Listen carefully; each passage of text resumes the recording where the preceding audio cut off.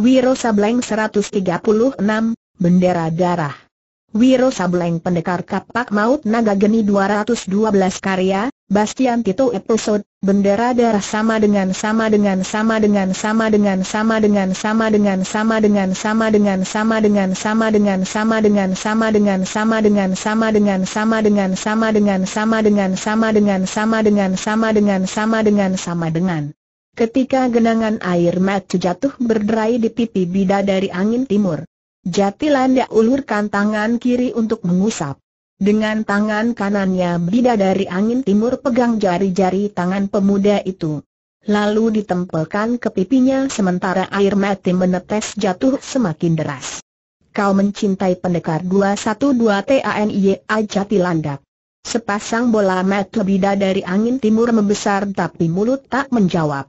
Malah kedua matanya dipejamkan dan tangan jati landak semakin kencang dipegang di atas pipinya.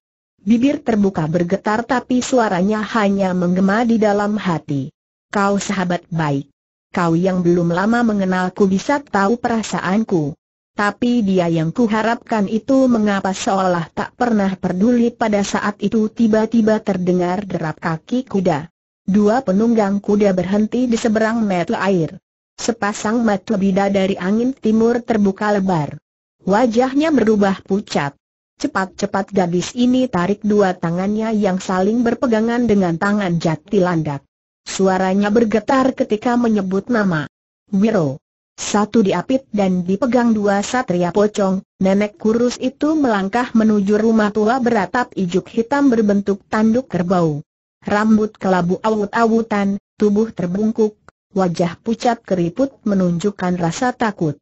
Sebuah lampion kain putih menyala suram di bawah atap rumah, bergoyang ditiup angin malam. Cahaya redup lampion ini tidak dapat menerangi seantero halaman rumah di mana menebar gundukan-gundukan batu. Malah bayangan cahaya menimbulkan wujud-wujud besar aneh menyeramkan di belakang bebatuan. Mendekati rumah, si nenek tiba-tiba menangkap suara sesuatu. Suara orang mengerang. Perempuan. Seperti orang sekarat. Di dalam rumah, ucap hati si nenek. Langkahnya jadi tertahan. Namun dua manusia pocong yang menggiring memaksanya jalan terus. Saat itu di depan rumah tua seorang manusia pocong bersosok tinggi besar berdiri tak bergerak. Dua tangan dirangkap di depan dada. Sepasang mata di balik lubang pada kain putih penutup kepala memandang memperhatikan nenek berambut kelabu.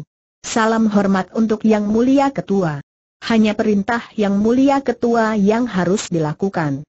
Hanya yang mulia ketua seorang yang wajib dicintai dua satria pocong keluarkan ucapan berbarengan.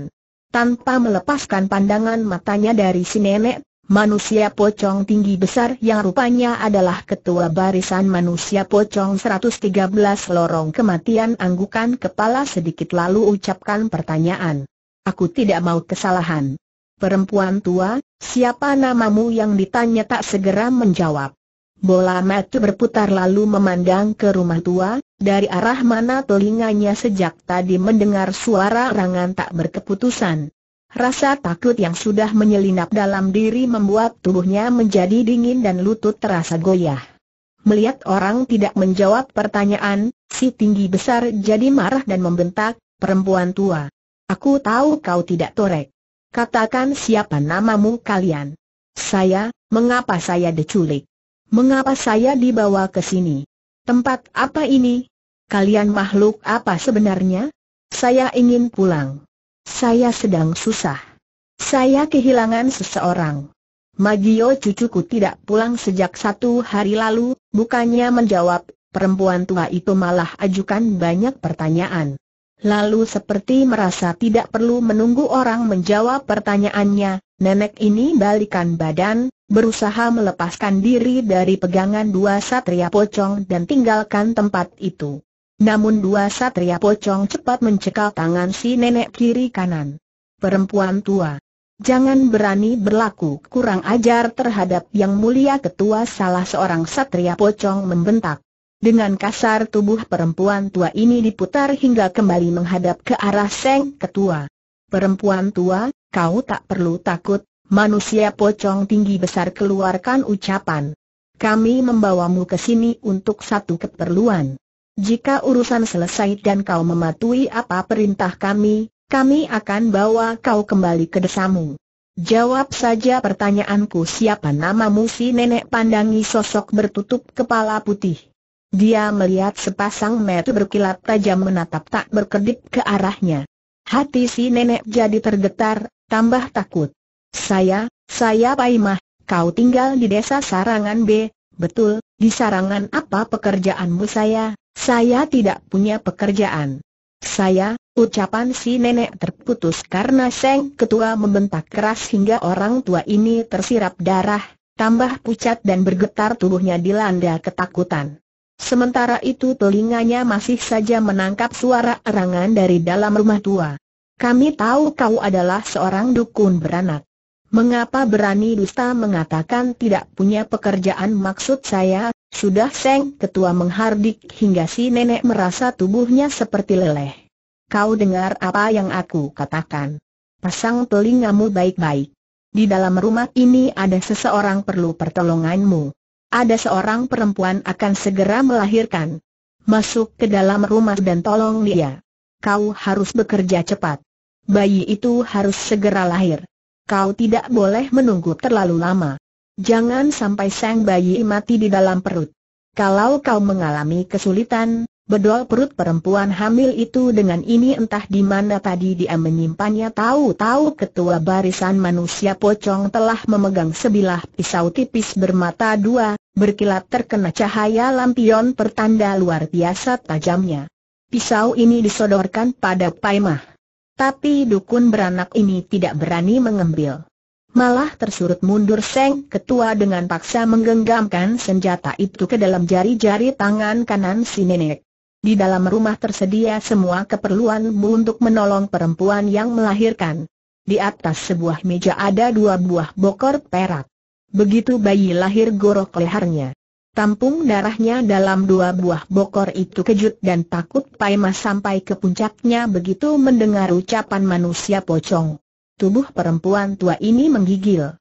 Dua satria pocong segera menggandeng dukun beranak Paimah ke arah tangga rumah tua beratap ijuk. Di bawah atap, lampion bergoyang-goyang ditiup angin. Suara halus desau tiupan angin digetari suara erangan perempuan tak berkeputusan yang keluar dari dalam rumah. Di depan tangga, dua manusia pocong lepaskan cekalan mereka. Tiba-tiba salah satu dari dua belas pintu di bagian depan bangunan tua terbuka. Pai masih dukun beranak terkejut pucat, Matt mendelik memandang ke dalam rumah. Paimah. Lekas masuk ke dalam rumah. Kerjakan tugasmu teriak Seng Ketua Barisan Manusia Pocong 113 Lorong Kematian. Paimah memandang ke kiri dan ke kanan. Tubuhnya tambah bergetar menggigil. Lutut semakin goyah. Perempuan tua ini gelengkan kepala lalu berkata dengan suara keras tapi gemetar. Tidak, aku tidak mau melakukan. Kalian boleh bunuh diriku. Tapi aku tidak akan sudi melaksanakan perintah kalian. Aku tidak akan memberdol perut siapa pun. Aku tidak akan menggorok bayi mana pun Paimah hendak campakan pisau di tangan kanannya, namun Satria Pocong di sampingnya cepat mencekal lengannya dan membentak. Tua bangka sialan. Jangan berlaku tolol. Kami tidak mau mendapat hukuman karena ulahmu tidak. Kalian boleh bunuh aku. Apa pun yang terjadi aku tidak akan mau melakukan perintah keji kalian Seng Ketua yang berdiri di halaman rumah tua kelihatan mulai hilang kesabarannya. Di dalam rumah suara erangan perempuan terdengar semakin keras. Perlahan-lahan manusia pocong tinggi besar ini turunkan dua tangan yang sejak tadi dirangkapkan di depan dada. Mulutnya bergerak.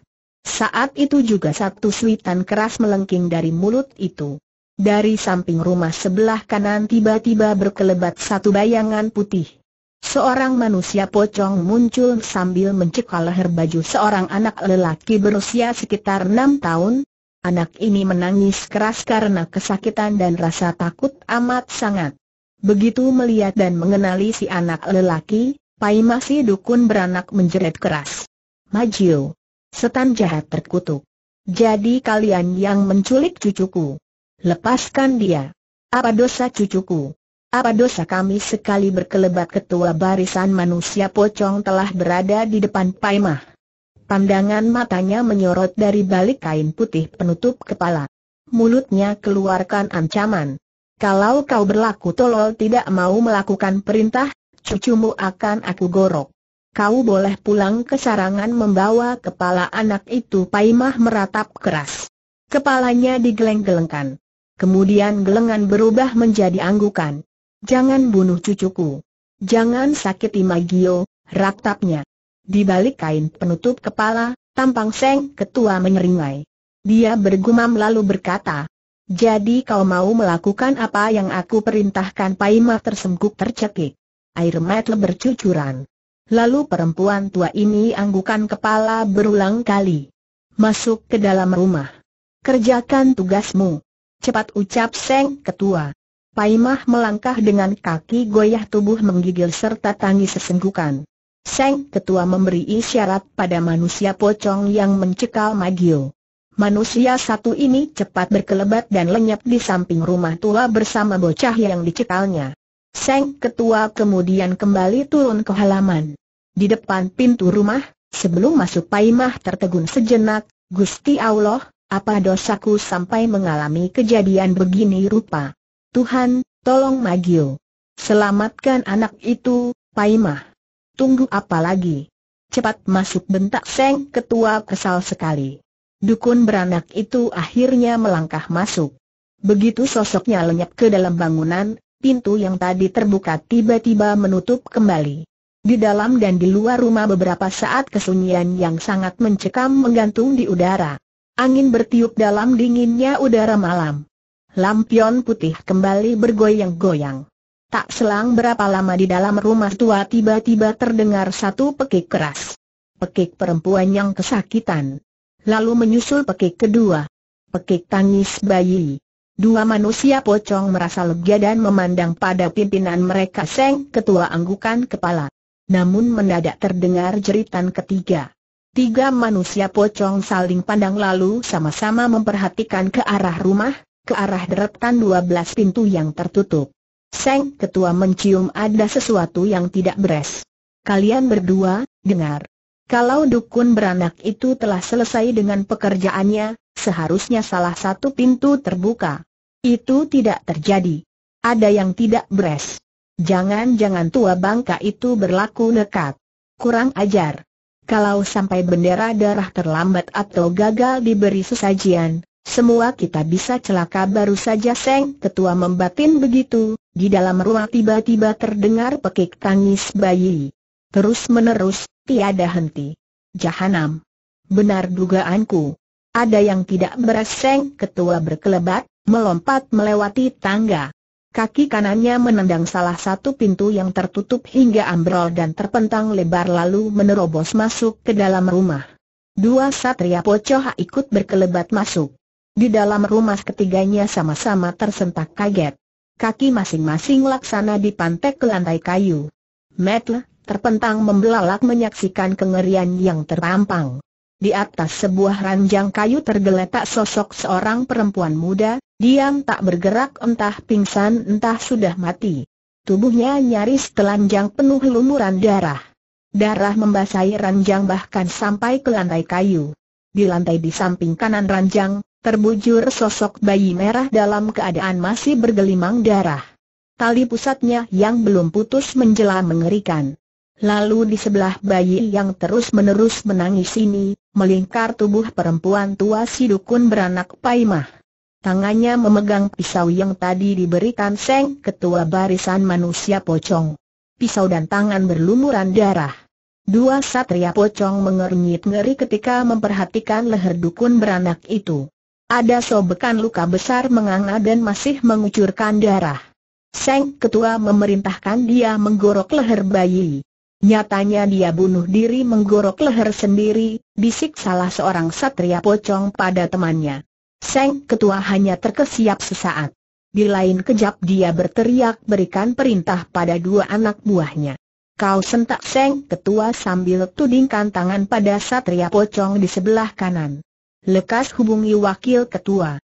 Singkirkan perempuan muda di atas ranjang. Ingat, Dia harus dilenyapkan tanpa bekas tanpa jejak.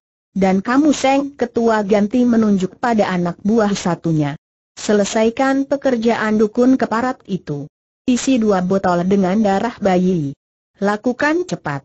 Aku menunggu di pintu ruang bendera darah ketua, ucap Satria Pocong yang menerima perintah terakhir. Suaranya tercekat gemetar.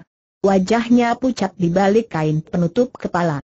Apakah, Apakah saya harus menggorok leher bayi itu untuk mendapatkan darahnya walau otaknya sudah dicuci dengan racun pemusnah ingatan, namun karena seumur hidup tidak pernah mengerjakan hal luar biasa mengerikan seperti itu, nyalinya menjadi leleh. Tubuhnya serasa lumat ditelan kengerian. Hal ini terbaca oleh Seng Ketua. Dia langsung membentak. Peduli setan kau mau melakukan apa dan bagaimana? Yang penting dua buah bokor itu harus diisi penuh dengan darah bayi. Kau mengerti? Atau kau ingin saat ini juga menemui kematian dalam ketololan Satria Pocong satu ini jadi ketakutan. Cepat-cepat dia menjura sambil berseru. Hanya perintah yang mulia ketua yang harus dilaksanakan. Hanya yang mulia ketua seorang yang wajib dicintai dalam episode sebelumnya rumah tanpa dosa diceritakan bagaimana pemuda dari Latana Silam, negeri 1200 tahun lalu, yakni Jatilanda berhasil menyelamatkan Bida dari angin timur ketika hendak digagahi oleh hantu muka dua. Gadis berambut pirang ini kemudian memberitahu kalau saat itu ada seorang darah bernama Wulan Serindi telah dilarikan oleh seorang kepala rampok.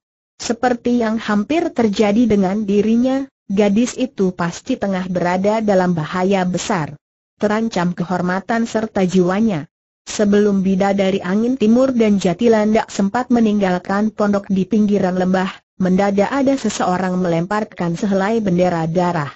Bendera berbentuk segitiga ini lewat hanya satu jengkal dari wajah bida dari angin timur, lalu menancap di papan rumah.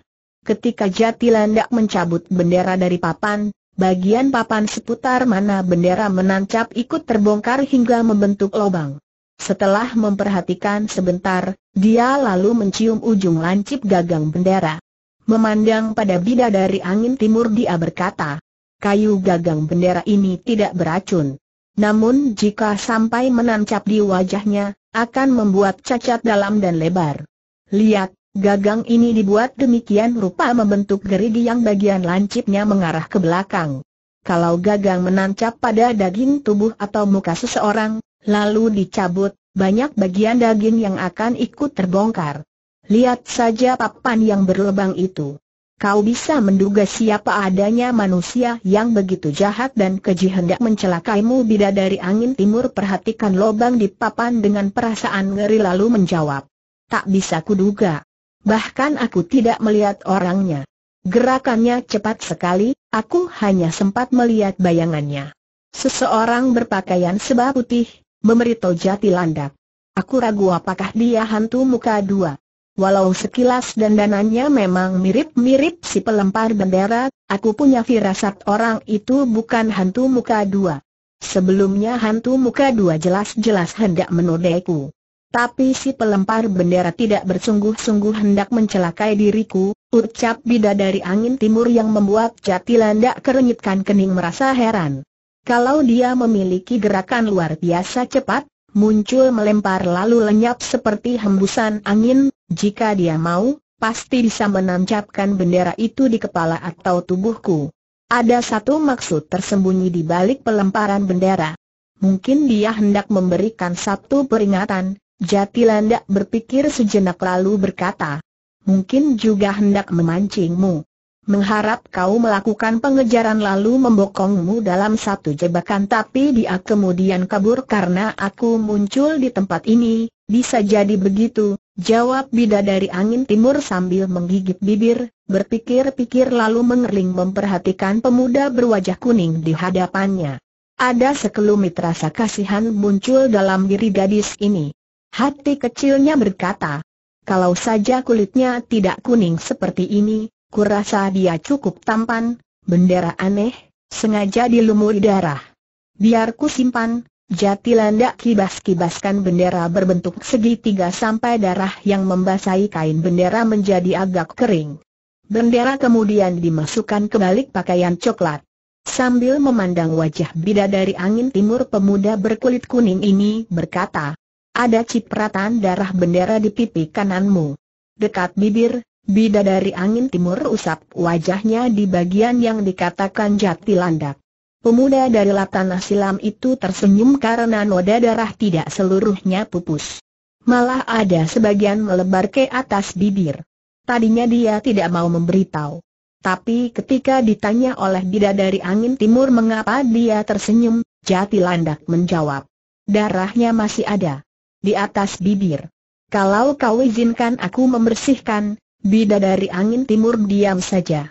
Dia coba menyeka kembali tapi salah tempat. Jati Landa tersenyum lagi, masih ada, katanya. Pemuda ini lalu ulurkan tangan. Sekali mengusap, noda darah di atas bibir pun lenyap. Jati Landa mengusap bibir Seng darah biasa-biasa saja. Tanpa perasaan apa-apa. Semata-mata hanya dengan niat menolong. Sebaliknya entah mengapa si gadis merasa sentuhan tangan si pemuda menimbulkan getaran aneh dalam dirinya, sekalipun dia yakin Jatilanda tidak punya maksud tidak baik dalam menolong tadi. Kita harus pergi sekarang juga. Mengejar penjahat penculik gadis bernama Wulan Serindi, kata bidadari angin timur sambil memandang ke jurusan lain, menyembunyikan wajahnya yang bersemu merah. Aku tahu arah lari penjahat itu. Waktu menuju ke sini aku melihat dia keluar dari lembah, lari ke arah selatan. Mendukung seseorang, datang ke sini tadi, penjahat itu menunggang kuda. Jika dia kabur dengan lari biasa berarti dia belum berapa jauh, berarti juga tujuan yang hendak dicapainya tidak jauh dari sini, kata Jatilanda pula. Bidadari angin timur tanpa banyak menunggu lagi segera melompat ke atas punggung kuda miliknya. Sedang Jatilanda memilih seekor kuda besar yaitu kepunyaan Warok Jangkrik yang ditinggalkan kepala rampok itu. Kedua orang ini segera membedal kuda masing-masing ke arah selatan dangau kecil itu terletak di bawah satu pohon besar, di pinggir ladang kopi yang sudah sejak lama ditelantarkan pemiliknya. Ke tempat inilah Warok Jangkrik membawa gadis culikannya. Wulan Serindi dengan keadaan pakaian tidak karuan rupa nyaris bugil dan dalam tubuh tertotok dibaringkan di lantai dalam keadaan tertotok, tak bisa bergerak tak bisa bersuara. Kepala dirundukkan mencium pipi Wulan Serindi. Bersamaan dengan itu tangan yang membelai wajah turun mengusap leher yang jenjang lalu secara kurang ajar turun lagi ke dada. Sampai di sini Warok Jangkrik tak sabaran lagi. Pakaian Wulan Srini dirobeknya hingga keadaan gadis malang ini tambah mengenaskan. Sebenarnya saat itu Warok Jangkrik ingin melepaskan totokan yang melumpuhkan Wulan Serindi. Bagaimanapun juga dia lebih suka menghadapi orang yang bisa bersuara dan bisa bergerak. Namun sewaktu di lembah, dia telah melihat sendiri kehebatan ilmu silat si gadis ketika dikeroyok oleh empat anak buahnya. Kepala rampok ini tak mau cari penyakit.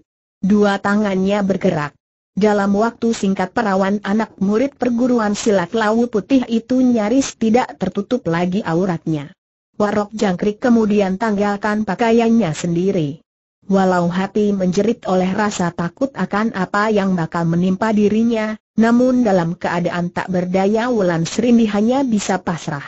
Dalam ketidakberdayaan itu tiada henti gadis ini mengucap memanggil nama Tuhan, meminta pertolongannya. Sewaktu Warok Jangkrik meniduri tubuhnya dan tak ada lagi kemungkinan bagi Wulan Serindi untuk menyelamatkan diri dari perbuatan keji terkutuk itu tiba-tiba ada dua bayangan berkelebat di susul ucapan-ucapan lantang. Manusia kurang ajar. Kepalamu layak aku hancurkan satu suara lelaki datang dari arah kanan dangau. Tidak. Jahanam itu harus mati di tanganku suara perempuan meningkahi, datang dari arah yang sama. Warok Jangkrik tersentak kaget, cepat berpaling. Dia melihat satu bayangan biru berkelebat lalu satu tendangan meneru ke arah kepalanya. Sambil berseru keras Warok Jangkrik rundukan kepala. Tangan kiri cepat menarik celana ke atas. Tangan sebelah kanan sebenarnya punya kesempatan mengirimkan serangan balasan berupa jotosan ke bawah perut si penyerang. Namun ketika melihat siapa adanya lawan, kepala rampok ini memilih selamatkan diri dengan berguling lalu jatuhkan tubuh ke bawah dangau. Tangan kanan dipergunakan untuk menyambar golok yang tergeletak di lantai dangau. Begitu berdiri di tanah warok jangkrik segera cabut golok. Memandang ke depan dia dapatkan diri berhadapan dengan gadis cantik berpakaian biru berambut pirang. Bida dari angin timur, ucap warok jangkrik dengan suara tersendat bergetar. Dua langkah di belakang si gadis berdiri seorang pemuda aneh berkepala botak. Kepala botak itu, wajah dan kulit tangan serta kakinya kelihatan kuning. Menghadapi bida dari angin timur seorang saja kepala rampok ini sudah merasa jerih. Apalagi bersama si gadis ada seorang pemuda aneh berkulit kuning yang dari gerak-gerik penampilannya jelas memiliki ilmu kepandaian tinggi. Warok jangkrik cepat memutar otak. Tunggu. Jangan salah sangka. Gadis itu belum aku apa-apakan. Kau bisa dapatkan dirinya dalam keadaan selamat. Biar urusan kita selesaikan sampai di sini saja habis berkata begitu Warok Jangkrik menghambur ke kiri, siap ambil langkah seribu. Tapi yang dihadapinya adalah seorang gadis yang bukan saja berkepandaian tinggi namun juga punya kemampuan bergerak laksana kilatan cahaya. Baru dua langkah kepala rampok itu membuat lompatan kabur, sosok bidadari angin timur berkelebat dan tahu-tahu sudah menghadang di depannya. Sambil sunggingkan senyum sinis dan angkat kepalanya sedikit, bidadari angin timur berkata, Warok jangkrik. Perampok bejat. Sebelumnya kau menipuku hingga diriku hampir jadi santapan manusia jahanam bercadar putih. Sekarang kau hendak berbuat mesum terhadap gadis ini? Dosa kejahatanmu selangit tembus. Kau pantas dikirim ke neraka saat ini juga. Tapi hari ini aku bersedia memberi pengampunan jika kau, sahabatku bidadari, perlu apa berbaik hati. Orang jahat semacam dia harus diberi hukuman berat agar tidak ada orang lain jadi korban keganasannya di kemudian hari pemuda botak berkulit kuning yang bukan lain adalah jati landak dari negeri Latana Sila memotong ucapan bida dari angin timur. Aku bersumpah. Aku bertobat seru Arok Jangkrik. Biarkan aku pergi, kau boleh pergi, tapi ada satu syarat. Ada pertanyaan yang harus kau jawab berkata bida dari angin timur. Jangankan satu syarat, jangankan satu pertanyaan. Seribu syarat seribu pertanyaan pun akan aku patuhi dan akan aku jawab, kata Warok Jangkrik pula. Dia merasa gembira ternyata orang mau memberi pengampunan atas dirinya. Bagus, kata bidadari angin timur sambil angguk-anggukan kepala dan kembali tersenyum hingga lesung pipit muncul di pipinya kiri kanan. Sarungkan golokmu.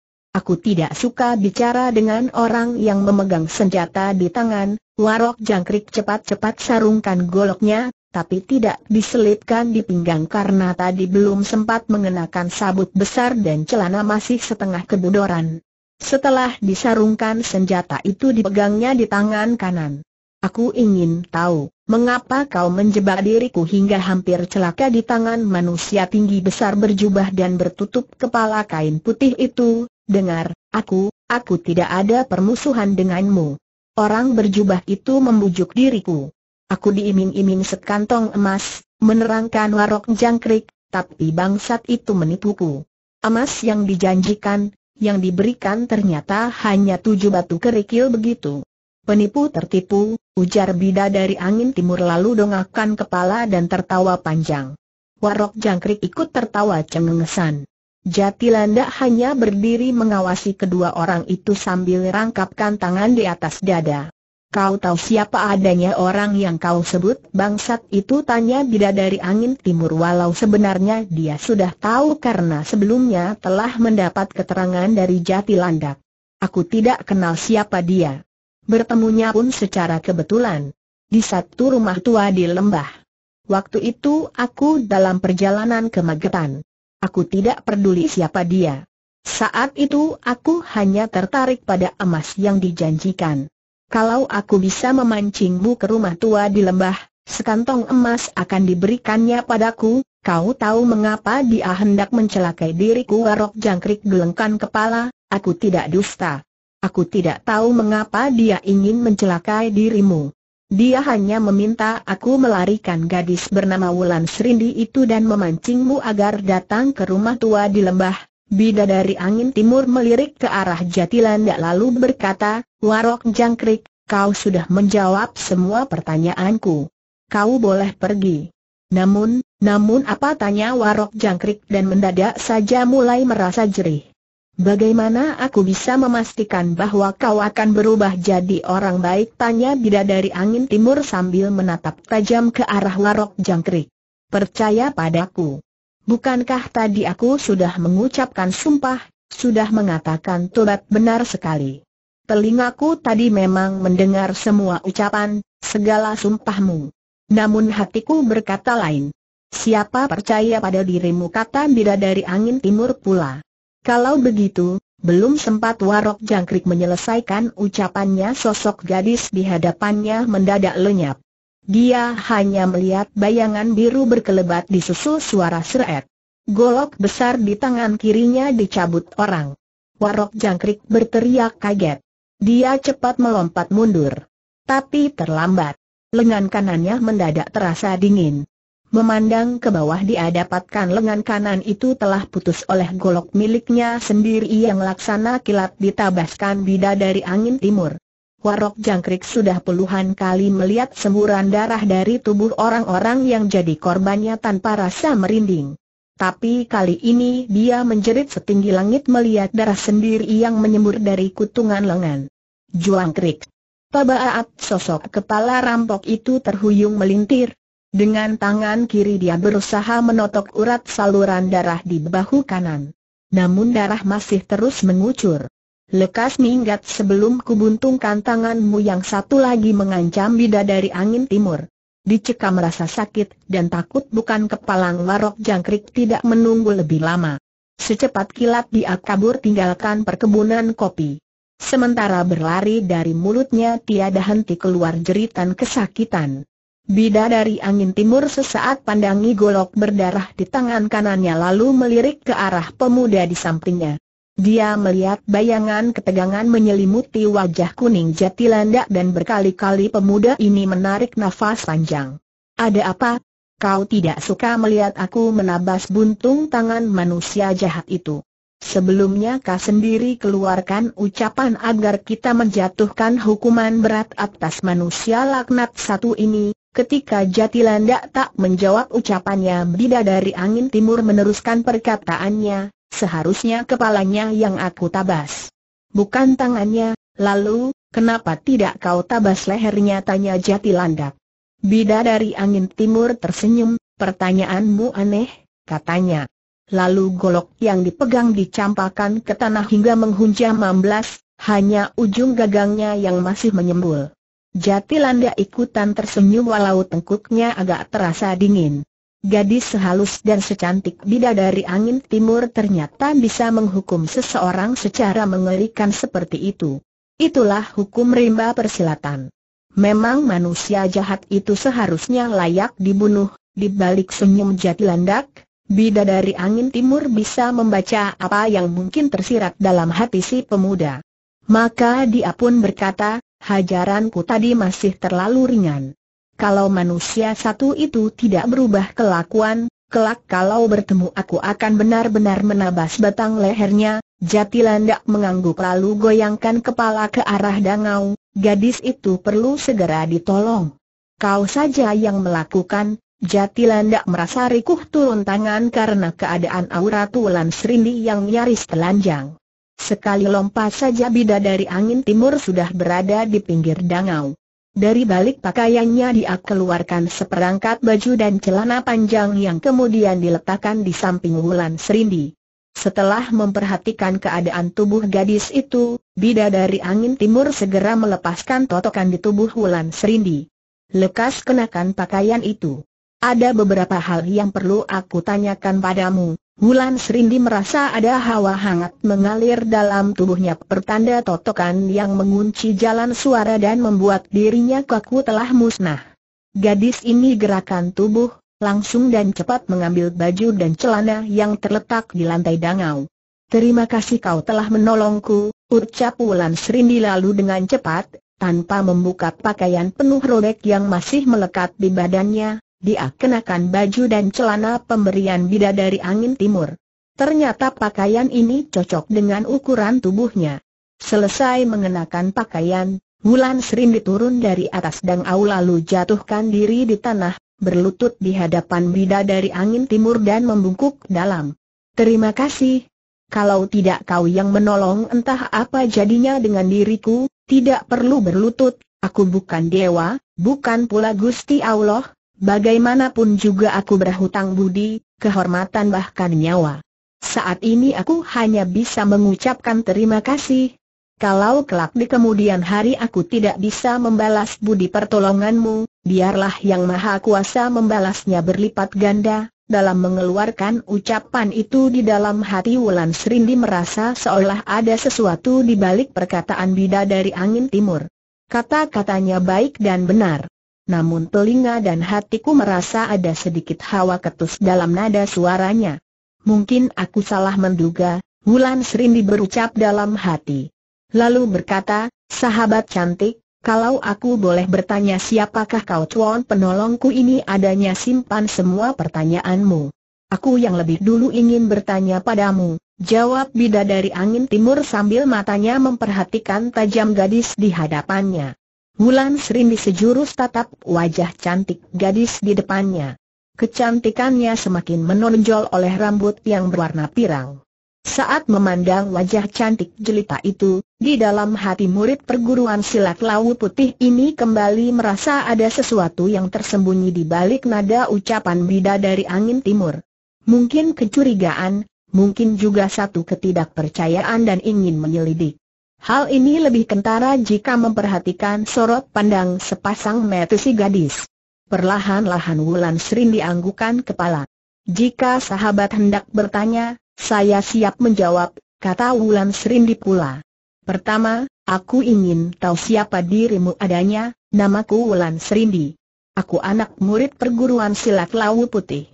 Beberapa waktu lalu, bidadari angin timur yang tak ingin penjelasan berpanjang-panjang potong ucapan Wulan Serindi, sewaktu di kedai Ki Sedap Roso di simpang jalan Sarangan, kau bertanya perihal seorang pemuda bernama Wiro Sableng pada pemilik kedai. Apa hubunganmu dengan pemuda itu? Mengapa kau mencarinya nah, nah, nah, ucap Wulan Srin di dalam hati. Makin kentara nada suaranya yang ketus.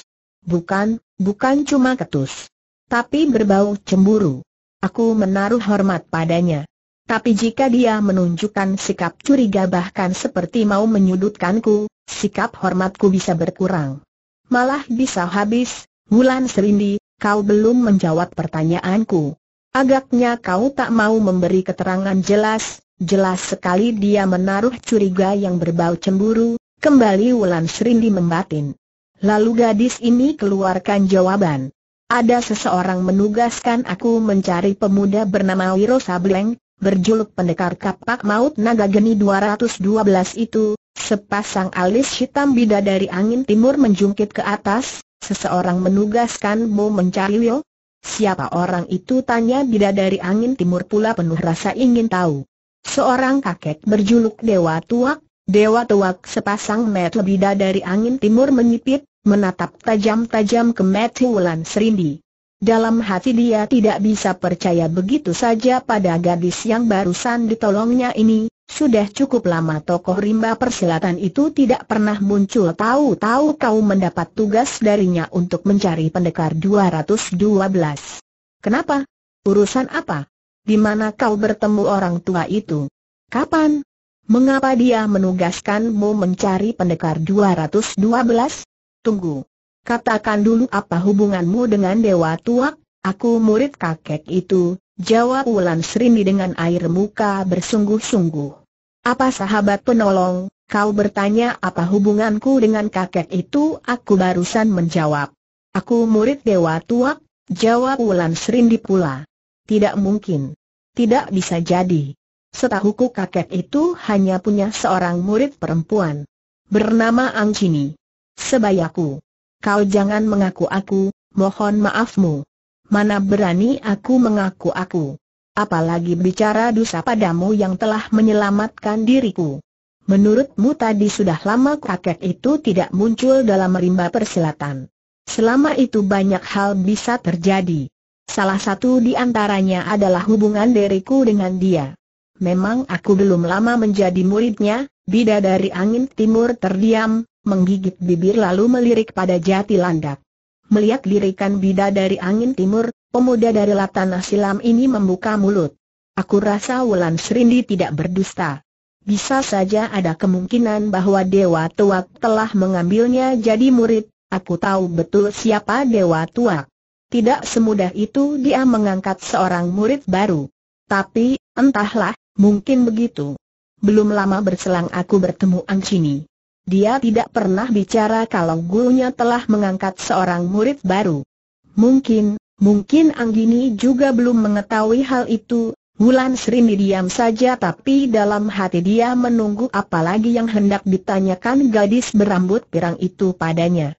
Kau ditugaskan mencari pendekar 212 oleh Dewa Tuak. Baiklah. Sekarang ceritakan mengapa dia memberi tugas itu padamu. Memangnya kau punya hubungan apa dengan pemuda itu cemburu? Aku benar-benar mencium hawa cemburu, ucap Wulan Srin di dalam hati. Biar aku menguji dirinya, sambil mengelus jari-jari tangannya sendiri dan tundukkan kepala seolah malu, padahal sebenarnya dia ingin menyembunyikan senyum jahilnya, Wulan Srin berkata. Sebenarnya ini adalah urusan pribadi. Tapi karena kau sahabat yang telah menolong dan kepada siapa aku berhutang budi, kehormatan serta nyawa, maka aku ikhlas menceritakan padamu. Dewa Tuak menugaskan aku mencari pendekar 212 menyangkut perihal perjodohan diriku dengan pemuda itu, ucapan Wulan Serindi seolah serasa sambaran petir sampainya di telinga bidadari angin timur. Wajah cantiknya mendadak sontak bersemu merah sampai ke telinga. Gila tiba-tiba meledak ucapan itu dari mulut bidadari angin timur. Membuat Wulan Serindi tersentak angkat kepala dan juga membuat Jatilandak menatap heran. Bidadari angin timur sadar kalau dia telah kelepasan ucapan yang tidak wajar. Tidak mungkin. Tidak mungkin, suaranya perlahan bergetar. Sesaat dia menatap Wulan Serindi kemudian pandangannya diarahkan ke kejauhan.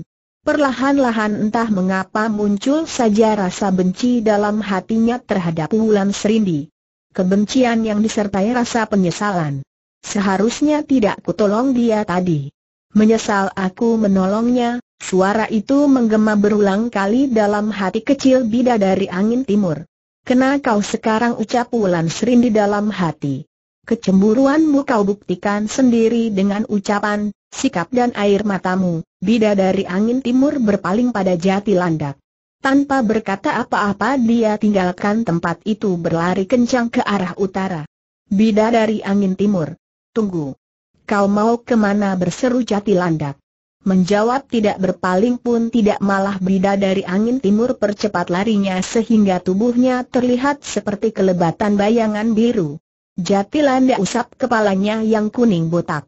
Dia memandang pada Wulan Serindi, seperti hendak mengatakan sesuatu pada gadis ini. Si gadis balas memandang dengan tersenyum, malah dengan nakal dia kedip-kedipkan matanya pada pemuda yang sedang bingung ini. Tanpa keluarkan ucapan apa-apa Jatilanda akhirnya berkelebat mengejar bidadari angin timur.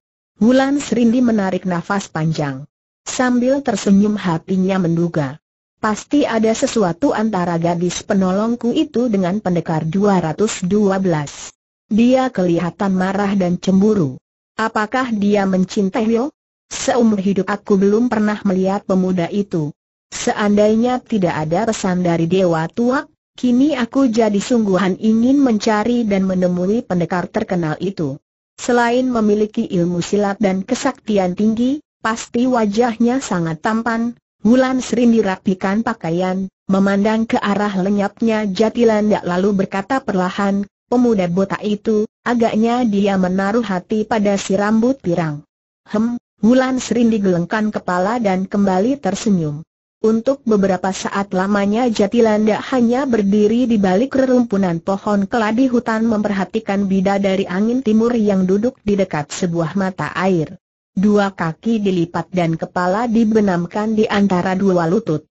Heran, apa yang terjadi dengan dirinya tanya Jatilanda dalam hati. Dia seperti tergoncang. Apakah aku pergi saja atau menemui dan coba bicara dengan dia? Siapa tahu bisa menolong, Sesaat pemuda dari Latana Silam itu masih merasa ragu. Antara hasrat hendak menolong Seng Dara dan keinginan untuk pergi tak mau mencampuri urusan orang dalam berpikir menimbang-nimbang tak sengaja daun keladi hutan yang dipegang dan disibakannya terlepas, terkuak dan mengeluarkan suara cukup jelas bagi seorang berkepandaian tinggi seperti bidadari angin timur. Kurang ajar. Siapa berani mengintai dari kurutuk gadis berambut pirang itu? Pasti gadis tak tahu diuntung itu tanpa mengangkat kepala dari atas lutut dari angin timur gerakan tangan kanan lalu lepaskan satu pukulan jarak jauh ke arah rumpunan pohon keladi di balik mana Jatilanda berada. Muus! Satu gelombang angin luar biasa derasnya menderu. Rumpunan pohon keladi dan semak belukar di sekitarnya terbongkar dari tanah, melayang ke udara dalam keadaan hancur berantakan. Kalau Jatilanda tidak cepat menghindar pasti tubuhnya juga akan ikut kena hantaman pukulan jarak jauh mengandung tenaga dalam tinggi itu. Masih belum mengangkat kepala dari atas lutut dari angin timur kembali gerakan tangan kanan. Dari balik pohon tempatnya berlindung Jatilanda cepat berseru. Sahabat, tahan pukulanmu. Ini aku. Jatilanda tangan yang hendak menghantam perlahan-lahan turun ke bawah. Kepala masih menunduk. Lalu terdengar suara isakan. Jatilanda terkesiap heran, benar-benar aneh. Tadi dia menyerangku hebat sekali. Kini malah sesenggukan. Dia sahabatku aku harus tahu apa yang tengah terjadi dengan dirinya, pemuda dari Latana Silam ini segera mendekati bidadari angin timur dan tetap berlaku waspada, khawatir tiba-tiba diserang lagi. Dia duduk di dekat mata air, di samping si gadis, Lalu dengan suara lembut bertanya, Bidadari angin timur, aku tidak ingin mencampuri urusan pribadimu. Kalau boleh tahu, mengapa kau tiba-tiba bersikap seperti ini? Kalau ada sesuatu yang bisa aku lakukan untuk menolongmu, katakanlah, sapaan Jatilanda itu malah membuat isak sengguk bidadari angin timur semakin keras. Pemuda bermuka kuning itu jadi tambah bingung. Dia ulurkan tangan kiri, mengelus punggung si gadis. Tiba-tiba bidadari angin timur angkat kepalanya, memandang ke arah jati landak. Wajahnya yang cantik basah oleh air mata. Pergi, jangan sentuh, ucap bidadari angin timur. Suaranya memang tidak keras, tapi cukup membuat jati landak terkejut. Aku tak ingin diganggu. Saat ini aku ingin sendirian, jati landak tarik tangannya. Maaf, aku bermaksud baik padamu. Aku tidak bisa menduga apa yang terjadi dengan dirimu.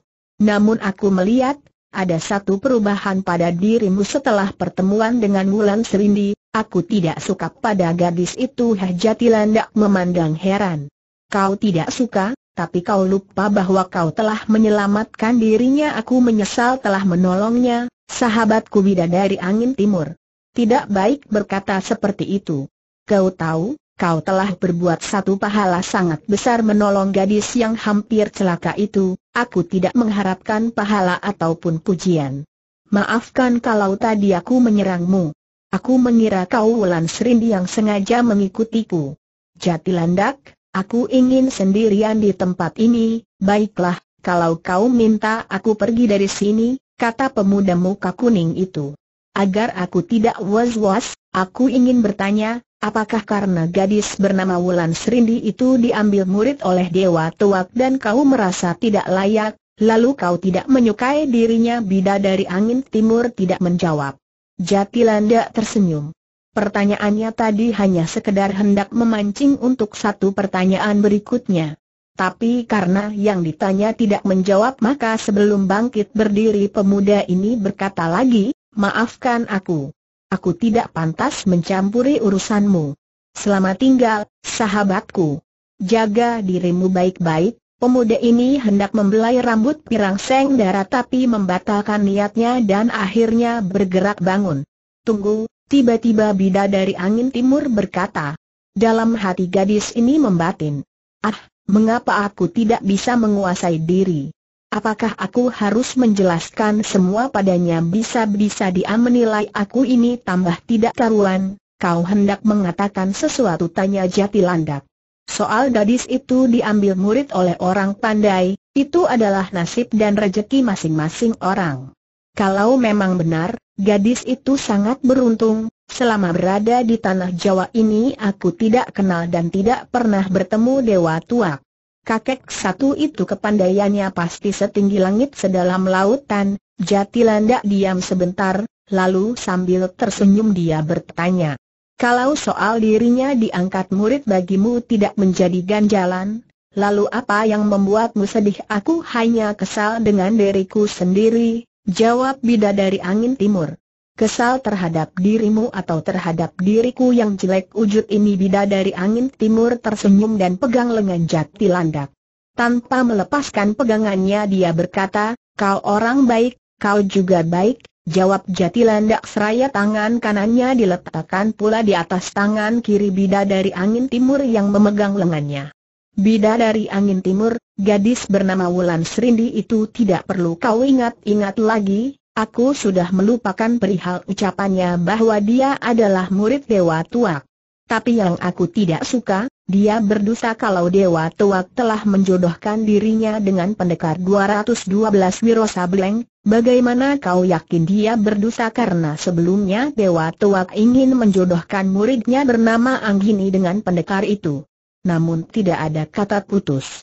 Sinto Gendeng guru pendekar 212 tidak pernah setuju dengan ikatan perjodohan yang dibuat Dewa Tuak, Wiro sendiri tampaknya acuh saja, jika begitu ceritanya, tidak heran kalau Dewa Tuak akhirnya menjodohkan Wulan Serindi dengan pendekar 212 Wiro Sableng, kata Jatilanda pula. Bidadari angin timur tatap Jatilanda sesaat. Kau, kau percaya hal itu memang terjadi tanya Seng darah perlahan sekali. Segala sesuatu bisa terjadi. Dewa Tuak pasti orang keras hati. Kalau muridnya yang bernama Anggini tidak dapat jadi jodoh pendekar 212, maka dia coba dengan muridnya yang lain. Wulan Serindi itu.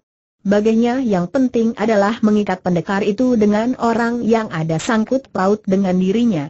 Kakek sakti, juga cerdik, lama bidadari angin timur terdiam perlahan, sepasang matanya yang bagus kelihatan mulai berkaca-kaca. Dugaanku benar. Aku berhasil memancing sikapnya. Gadis ini mencintai pendekar 212 Wiro Sableng. Kini dia takut akan kehilangan pemuda itu, jati landak membatin dalam hati. Ketika genangan air mata jatuh berderai di pipi bidadari angin timur, jati landak ulurkan tangan kiri untuk mengusap. Dengan tangan kanannya bidadari angin timur pegang jari-jari tangan pemuda itu lalu ditempelkan ke pipinya sementara air mati menetes jatuh semakin deras. Kau mencintai pendekar 212 tiba-tiba meluncur pertanyaan itu dari mulut jati landak. Bidadari angin timur tersentak. Sepasang bola matanya membesar tapi mulutnya tidak menjawab. Malah kedua matanya dipejamkan dan tangan jati landak semakin kencang dipegang di atas pipinya. Bibir terbuka bergetar tapi suaranya hanya menggema di dalam hati. Kau sahabat baik. Kau yang belum lama mengenalku bisa tahu perasaanku. Tetapi dia yang kuharapkan itu mengapa seolah tak pernah peduli, pada saat itulah tiba-tiba terdengar derap kaki kuda. Bidadari angin timur dan jati landak angkat kepala, berpaling. Dua penunggang kuda berhenti di seberang mata air. Salah seorang dari keduanya, yang mengenakan pakaian serba putih melesat ke udara. Membuat gerakan jungkir balik dan di lain kejap sudah tegak berdiri di hadapan kedua orang itu penunggang satunya melompat biasa, turun dari kuda lalu melangkah dan berdiri di samping penunggang kuda pertama. Sepasang mata dari angin timur terbuka lebar. Wajahnya yang kemerahan berubah pucat. Cepat-cepat gadis ini tarik dua tangannya yang saling berpegangan dengan tangan jati landak. lalu bangkit berdiri diikuti Jati Landak. Suaranya bergetar ketika menyebut nama orang yang tegak di hadapannya.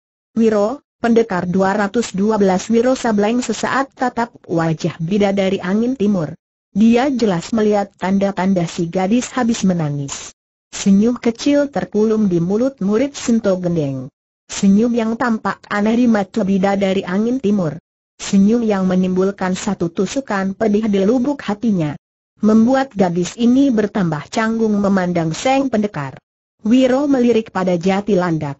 Pemuda ini tampak tenang seperti tidak ada apa-apa. Wiro kembali tersenyum, menggaruk kepala lalu berkata, Suaranya dibuat gembira begitu rupa, sengaja menindih perasaan hatinya yang galau.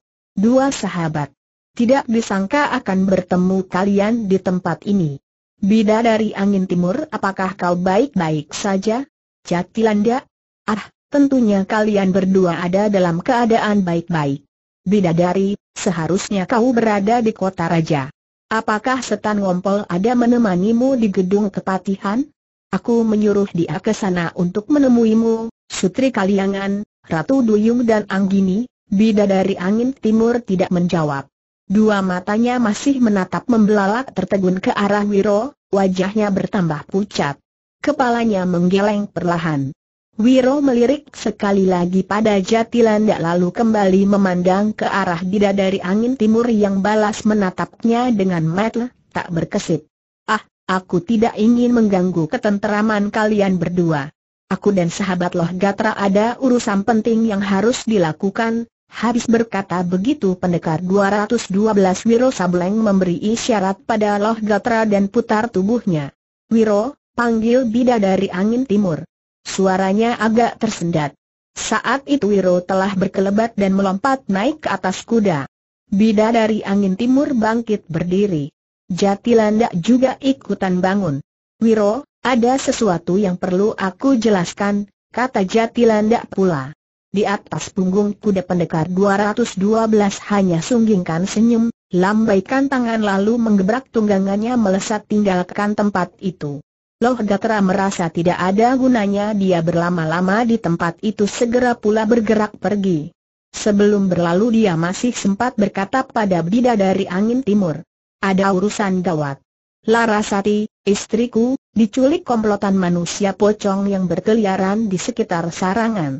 Aku pergi duluan, Loh Gatra, tunggu panggil bidadari angin timur yang sebelumnya memang telah mengenal suami Larasati itu, bakal serial Wiro Sableng Badai Sumpah Darah terdiri dari tujuh episode. Tapi seperti Wiro, Loh Gatra juga telah naik ke atas kudanya dan tinggalkan tempat itu. Ya Tuhan, dia pasti telah menduga, ucap bidadari angin timur. Lututnya terasa goyah. Perlahan-lahan dia jatuh berlutut, tundukkan kepala ke dalam dua telapak tangan. Bahunya turun naik menahan isakan.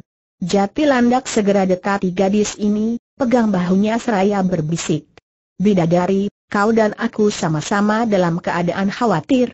Wiro pasti mempunyai kesan keliru terhadap kita. Kita harus segera mengejarnya, bidadari angin timur tetap saja menekap wajahnya dengan dua telapak tangan. Kepalanya digelengkan. Lalu terdengar ucapannya tersendat-sendat. Aku tak ingin ke mana-mana. Biar di sini saja. Rasanya aku ingin mati di tempat ini, tidak sahabatku. Kau tidak boleh berucap dan bersikap seperti itu. Kita harus mencari Wiro dan bicara padanya.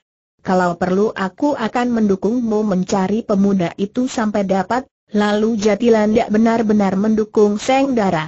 Bidadari angin timur berusaha berontak lepaskan diri tapi akhirnya gadis ini hanya bisa menangis dalam pelukan pemuda dari Latana Silam itu tak sampai 50 tombak memacu tunggangannya, sebelum Loh Gatra menyusul, pendekar 212 memutar kuda, bergerak perlahan, menyelinap kembali menuju mata air. Di balik serumpun pohon bambu hutan, murid Sinto Gendeng hentikan kudanya, sibakan ranting-ranting pepohonan, memandang ke depan. Saat itulah dia melihat Jatilanda tengah mendukung bidadari angin timur dan si gadis menangis dalam pelukan pemuda berkulit kuning itu. Jantungnya serasa runtuh dan remuk. Apa arti semua ini ucap Wiro setengah berbisik dan tubuh mendadak terasa dingin mematung di atas kuda Wiro merasa seolah dia telah memacu kudanya seperti dikejar setan, tapi Loh Gatra yang berada di sebelahnya melihat murid Sinto Gendeng dari Gunung Gede ini menunggang kuda tertegun-tegun dua mata memandang ke depan, namun pandangan itu kosong. Metu dan pikiran tidak berada dalam satu kesatuan. Sahabat Wiro, Kau baik-baik saja memangnya ada apa dengan diriku? Mengapa kau bertanya begitu balik bertanya Wiro? Berbahaya memacu kuda kalau pikiran sedang kacau, Wiro tertawa bergelak. Menggaruk rambut dan berkata, Kau tahu dari mana pikiranku sedang kacau, bukan cuma pikiranmu. Tapi juga hatimu pikiran dan hatimu justru lebih kacau. Saat ini kau tengah kehilangan istri. Diculik orang. Jadi apa perlunya kau memikirkan diriku maafkan, aku tidak bermaksud buruk. Kalau aku boleh bertanya, siapa pemuda berkepala botak yang seluruh kulitnya berwarna kuning itu dia pemuda baik. Sahabatku dari negeri 1200 tahun silam, negeri 1200 tahun silam. Aneh kedengarannya, kau lihat sendiri. Orangnya juga aneh, ucap Wiro pula. Apa hubungannya dengan bidadari angin timur? Apakah mereka sudah saling mengenal sejak lama murid Sinto Gendeng terdiam? Dia tak mampu menjawab. Karena dua pertanyaan Loh Gatra itu diam-diam juga menjadi pertanyaan di lubuk hatinya. Aku tidak tahu, ucap Wiro perlahan. Kalau kau bertemu dengan mereka nanti, sebaiknya tanyakan sendiri, Wiro, kau sahabatku. Terserah kau mau marah menuduh aku mencampuri urusanmu. Setahuku bukankah gadis bernama Bida dari Angin Timur itu kekasihmu dan kau satu-satunya orang yang dicintainya loh Gatra, kau ini bicara apa? Bagaimana kau bisa bicara seperti itu? Antara aku dan gadis itu hanya ada hubungan persahabatan. Dia sering menolongku, aku pernah beberapa kali menolongnya. Itu hal biasa dilakukan antara orang-orang rimba persilatan, aku tahu semua itu, Wiro. Namun, jika tidak ada hubungan yang lebih dari itu, mengapa aku melihat wajah bidadari angin timur begitu pucat, seperti takut? Takut sekali karena tertangkap tangan oleh orang yang dicintainya ketika tengah berkasih-kasihan dengan pemuda lain, ucapan Edan bentak Wiro namun kemudian pendekar ini terdiam. Ada galau tidak enak di dalam hatinya. Terbayang kembali apa yang dilihat dia ketika dia berbalik ke metu air dan dapatkan bidadari angin timur menangis dalam dukungan jati landak. Sambil terus menunggang kudanya tanpa berpaling pada Loh Gatra, pendekar 212 bertanya. Dia tidak sadar kalau pertanyaan itu menunjukkan perasaan hatinya, menurutmu, apakah pemuda bernama Jatilanda itu tengah bercinta dengan bidadari angin timur? Loh Gatra tersenyum. Nah, sekarang agaknya ada kebimbangan dalam hatimu. Terus terang aku tidak berani berucap menduga-duga, Wiro garuk kepala, menggigit bibir lalu berkata. Dari wajah dan keadaan matanya aku lihat gadis itu habis menangis. Dia menangis sebelum kita datang. Agaknya ada yang terjadi di antara mereka. Mungkinkah keduanya telah melakukan sesuatu-sesuatu apa maksudmu sesuatu, lebih dari hanya sekedar saling berpegangan tangan? Misalnya, mungkin saja sebelumnya kedua orang itu telah bercinta yang melebihi batas. Melakukan hubungan seperti sepasang suami istri Loh Gatra tersenyum dan gelengkan kepala. Wiro, jika selama kau dan gadis itu berhubungan, kalian tidak pernah melakukan hal yang kau duga itu, percayalah, Bidadari angin timur tidak akan pernah mau melakukan perbuatan sesat itu dengan siapa pun, murid Sinto Gendeng tersenyum kecut. Kebenaran ucapanmu hanya setan hutan di matu air itu yang tahu, kata Wiro sambil menggaruk kepala. Lalu murid Sinto Gendeng ini menambahkan dengan suara perlahan. Kalaupun ada perasaan cinta di hatinya terhadapku, perasaan itu bisa saja berubah. Di dunia ini bukan cuma aku satu-satunya pemuda. Apalagi Jatilandak memiliki ilmu silat dan kesaktian tinggi, bagaimana dengan wajah dan kulit tubuhnya yang serba kuning di masa sekarang ini soal wajah bukan menjadi tuntutan pertama untuk disukai dan dicintai. Lagi pula pemuda bernama Jatilandak itu, kalau saja kulitnya tidak kuning, dia adalah seorang pemuda yang gagah, dari semua ucapanmu, aku melihat ada rasa cemburu dalam hatimu. Kalau betul berarti itu satu pertanda bahwa kau sebenarnya memang mengasihi dari Ahgin Timur, Wiro menggaruk kepala, tertawa panjang. Ketika dia hendak membuka mulut untuk menjawab ucapan orang, Loh Gatra mendahului, Wiro, ujar Loh Gatra yang tetap ingin menghibur dan menguatkan hati sahabatnya itu walau dia sendiri tengah dilanda malapetaka besar. Jika kita melihat sesuatu, duga dan pikir bisa macam-macam. Tapi ketahuilah, sesuatu yang terlihat belum tentu menyatakan kebenaran dari apa yang kita duga. Selalu ada kemungkinan bahwa ada sesuatu yang sangat berlainan di balik kenyataan yang kita lihat. Sesuatu yang bertentangan dengan kenyataan itu, aku tidak mengerti maksud semua ucapanmu. Mungkin aku cuma pemuda tolol yang tidak tahu basa-basi ucapan, kata Wiro pula sambil menggaruk kepala. Dia lantas saja teringat pada pertemuannya dengan Suci, gadis salam gaib yang lebih suka dipanggilnya dengan nama Bunga dan dalam rimba persilatan Tanah Jawa dikenal dengan julukan Dewi Bunga Mayat. Waktu itu Wiro baru saja menyelamatkan bunga yang disekap iblis kepala batu alis empat di dalam sebuah guci tembaga. Terngiang kembali ucapan gadis salam gaib itu kepadanya. Di luar diriku, aku tahu begitu banyak gadis mencintai dirimu. Aku tidak tahu bagaimana perasaanmu terhadap mereka tetapi jika kelak di kemudian hari kau ingin memilih salah satu dari mereka sebagai teman hidupmu, jatuhkanlah pilihanmu pada Ratu Duyung. Jaga dia baik-baik, saat itu Wiro sempat bertanya, mengapa kau berkata begitu bunga dan bunga menjawab, pertanyaanmu tidak akan kujawab.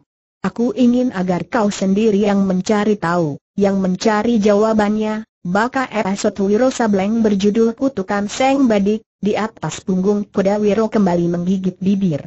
Hatinya berkata, Bunga, pertanyaanmu sudah kujawab. Aku sudah menyaksikan sendiri jawaban itu. Bila kita memilih teman hidup, unsur kesetiaan adalah yang paling utama dari segala-galanya. Setia dalam susah dan dalam senang. Aku mengerti sekarang, Bunga. Waktu itu kau ingin mengatakan bahwa bidadari angin timur bukanlah seorang gadis yang memiliki rasa dan sifat kesetiaan itu. Kau tak mau berterus terang. Itu pertanda kau memiliki hati yang sangat tulus, putih dan bersih. Terima kasih bunga.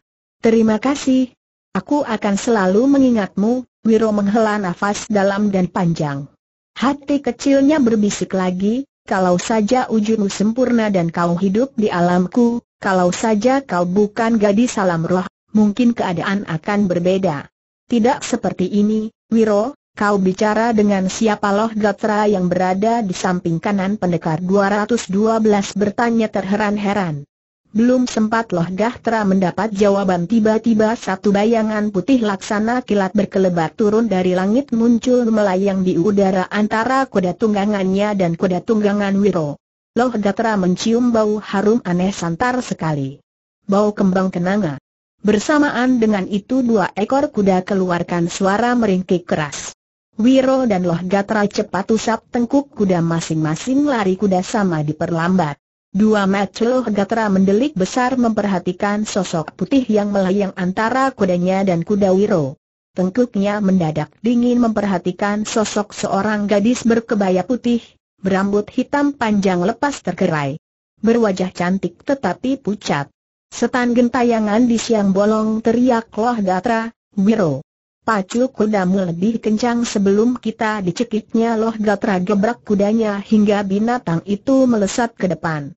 Namun beberapa tombak di muka sana dia menoleh ke belakang dan jadi terheran-heran menyaksikan Wiro turun dari kuda lalu melangkah menghampiri gadis berkebaya panjang putih yang tegak di tepi jalan dan tampaknya sengaja menunggu.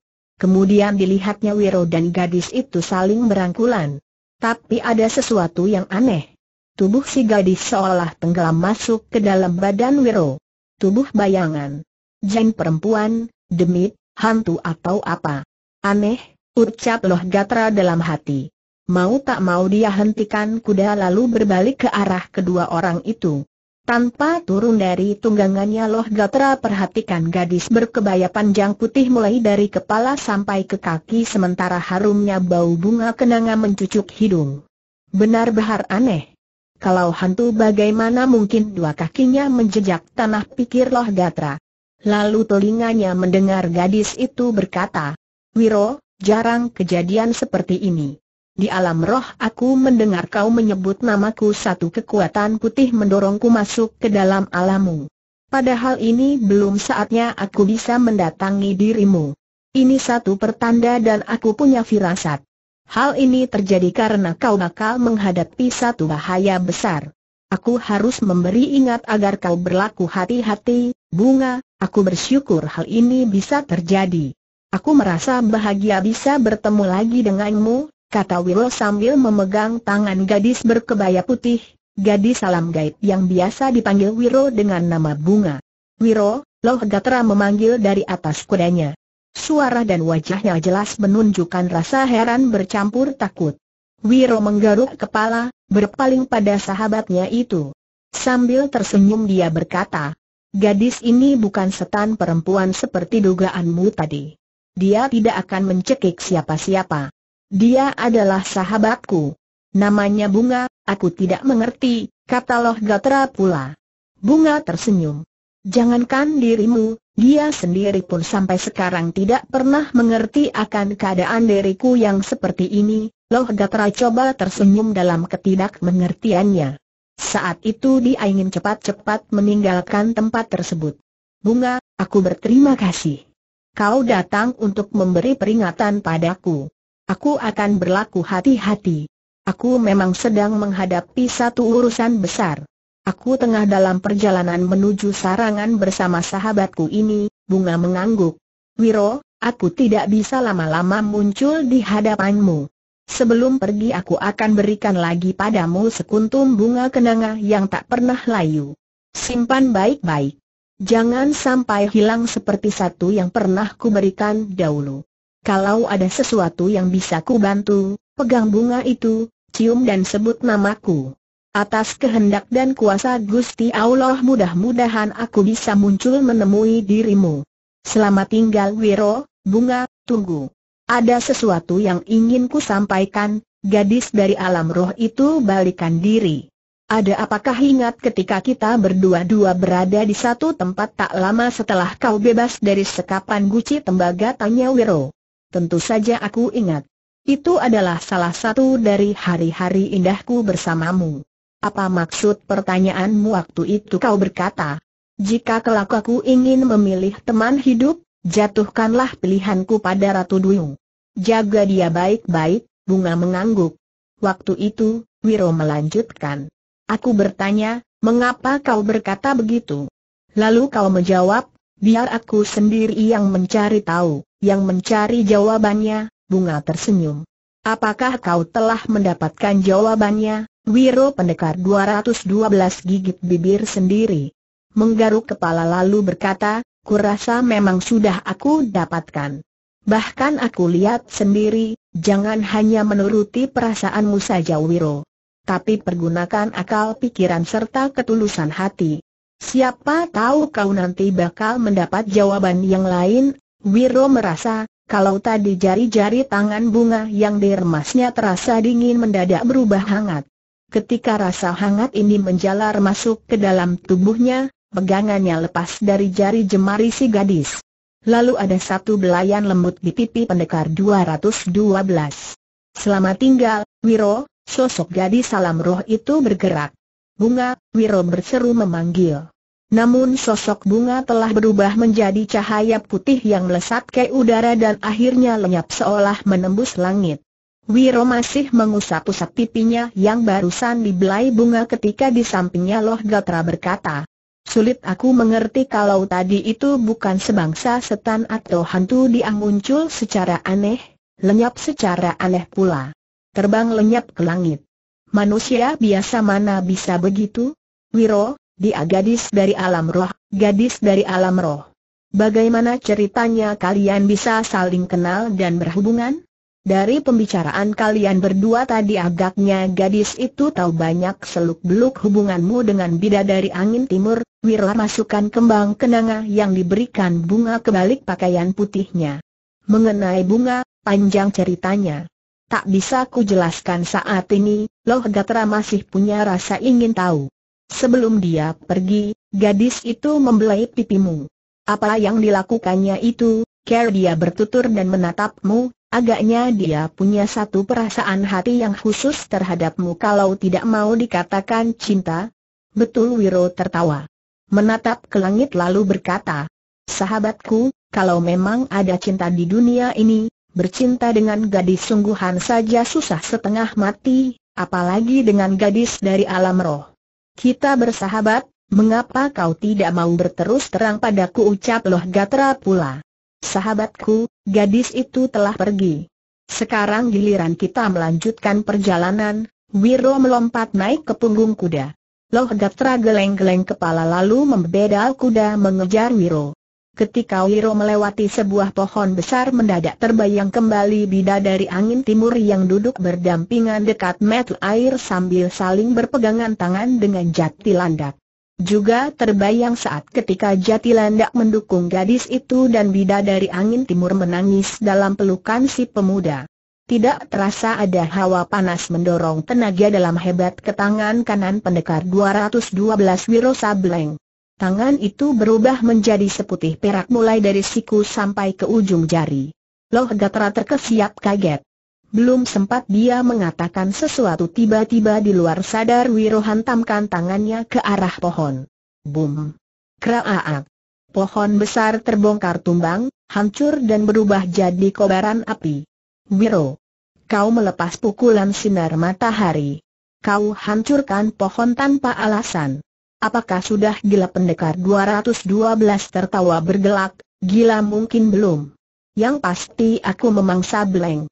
Ha, ha, ha, ha, kalau cuma sableng rasanya semua orang sudah tahu. Yang aku khawatirkan kalau-kalau dirimu telah kesambat kemasukan roh gadis aneh tadi. Menghantam tak karuan, tertawa tak karuan, kata Loh Gatra perlahan, hingga tidak terdengar oleh Wiro yang berada di sebelah depan. Ruang bendera darah adalah satu ruangan batu, terletak di bawah ruang kayu hitam dalam kawasan 113 lorong kematian. Di tengah ruangan terdapat sebuah meja batu. Di samping kiri meja ada sebuah kursi, juga terbuat dari batu. Di atas kursi ini duduk ketua barisan manusia pocong 113 lorong kematian. Sosok tinggi besar Seng ketua tidak bergerak. Sepasang mata di balik dua lubang kecil pada kain kerudung putih penutup kepala memandang liar ke arah dinding batu di hadapannya. Pada dinding itu, hampir tak kentara ada sebuah pintu batu. Dari sebelah dalam pintu ini hanya bisa dibuka dengan menekan satu tombol rahasia. Tombol tersebut terletak pada ujung lengan kursi sebelah kanan yang diduduki Yang Mulia Seng Ketua. Dua tombak di belakang meja dan kursi ada sebuah tangan batu merapat ke dinding. Pada ujung puncak tangga yang memiliki 13 undakan, sebuah bendera besar berbentuk segitiga merah menancap ke dinding. Bendera ini menebar bau nyir menusuk hidung. Inilah yang disebut induk bendera darah. Empat pendupa pada sudut-sudut kamar yang menebar bau harumnya kemenyan tidak dapat menindih tajamnya bau nyir darah setengah kering yang melekat di bendera. Di atas bendera darah, berderet menancap pada dinding batu terdapat dua lusin bendera kecil berbentuk segitiga berwarna putih. Tepat di bawah ujung lancip bendera yang menjulai ke bawah ada tonggak batu yang kedudukannya agak miring ke depan, di atas mana terletak satu tengkorak kepala manusia tertutup oleh lumut berwarna merah kehitaman. Pada ubun-ubun tengkorak terdapat sebuah lubang. Di sebelah bawah ada lagi satu tonggak batu setinggi pinggang.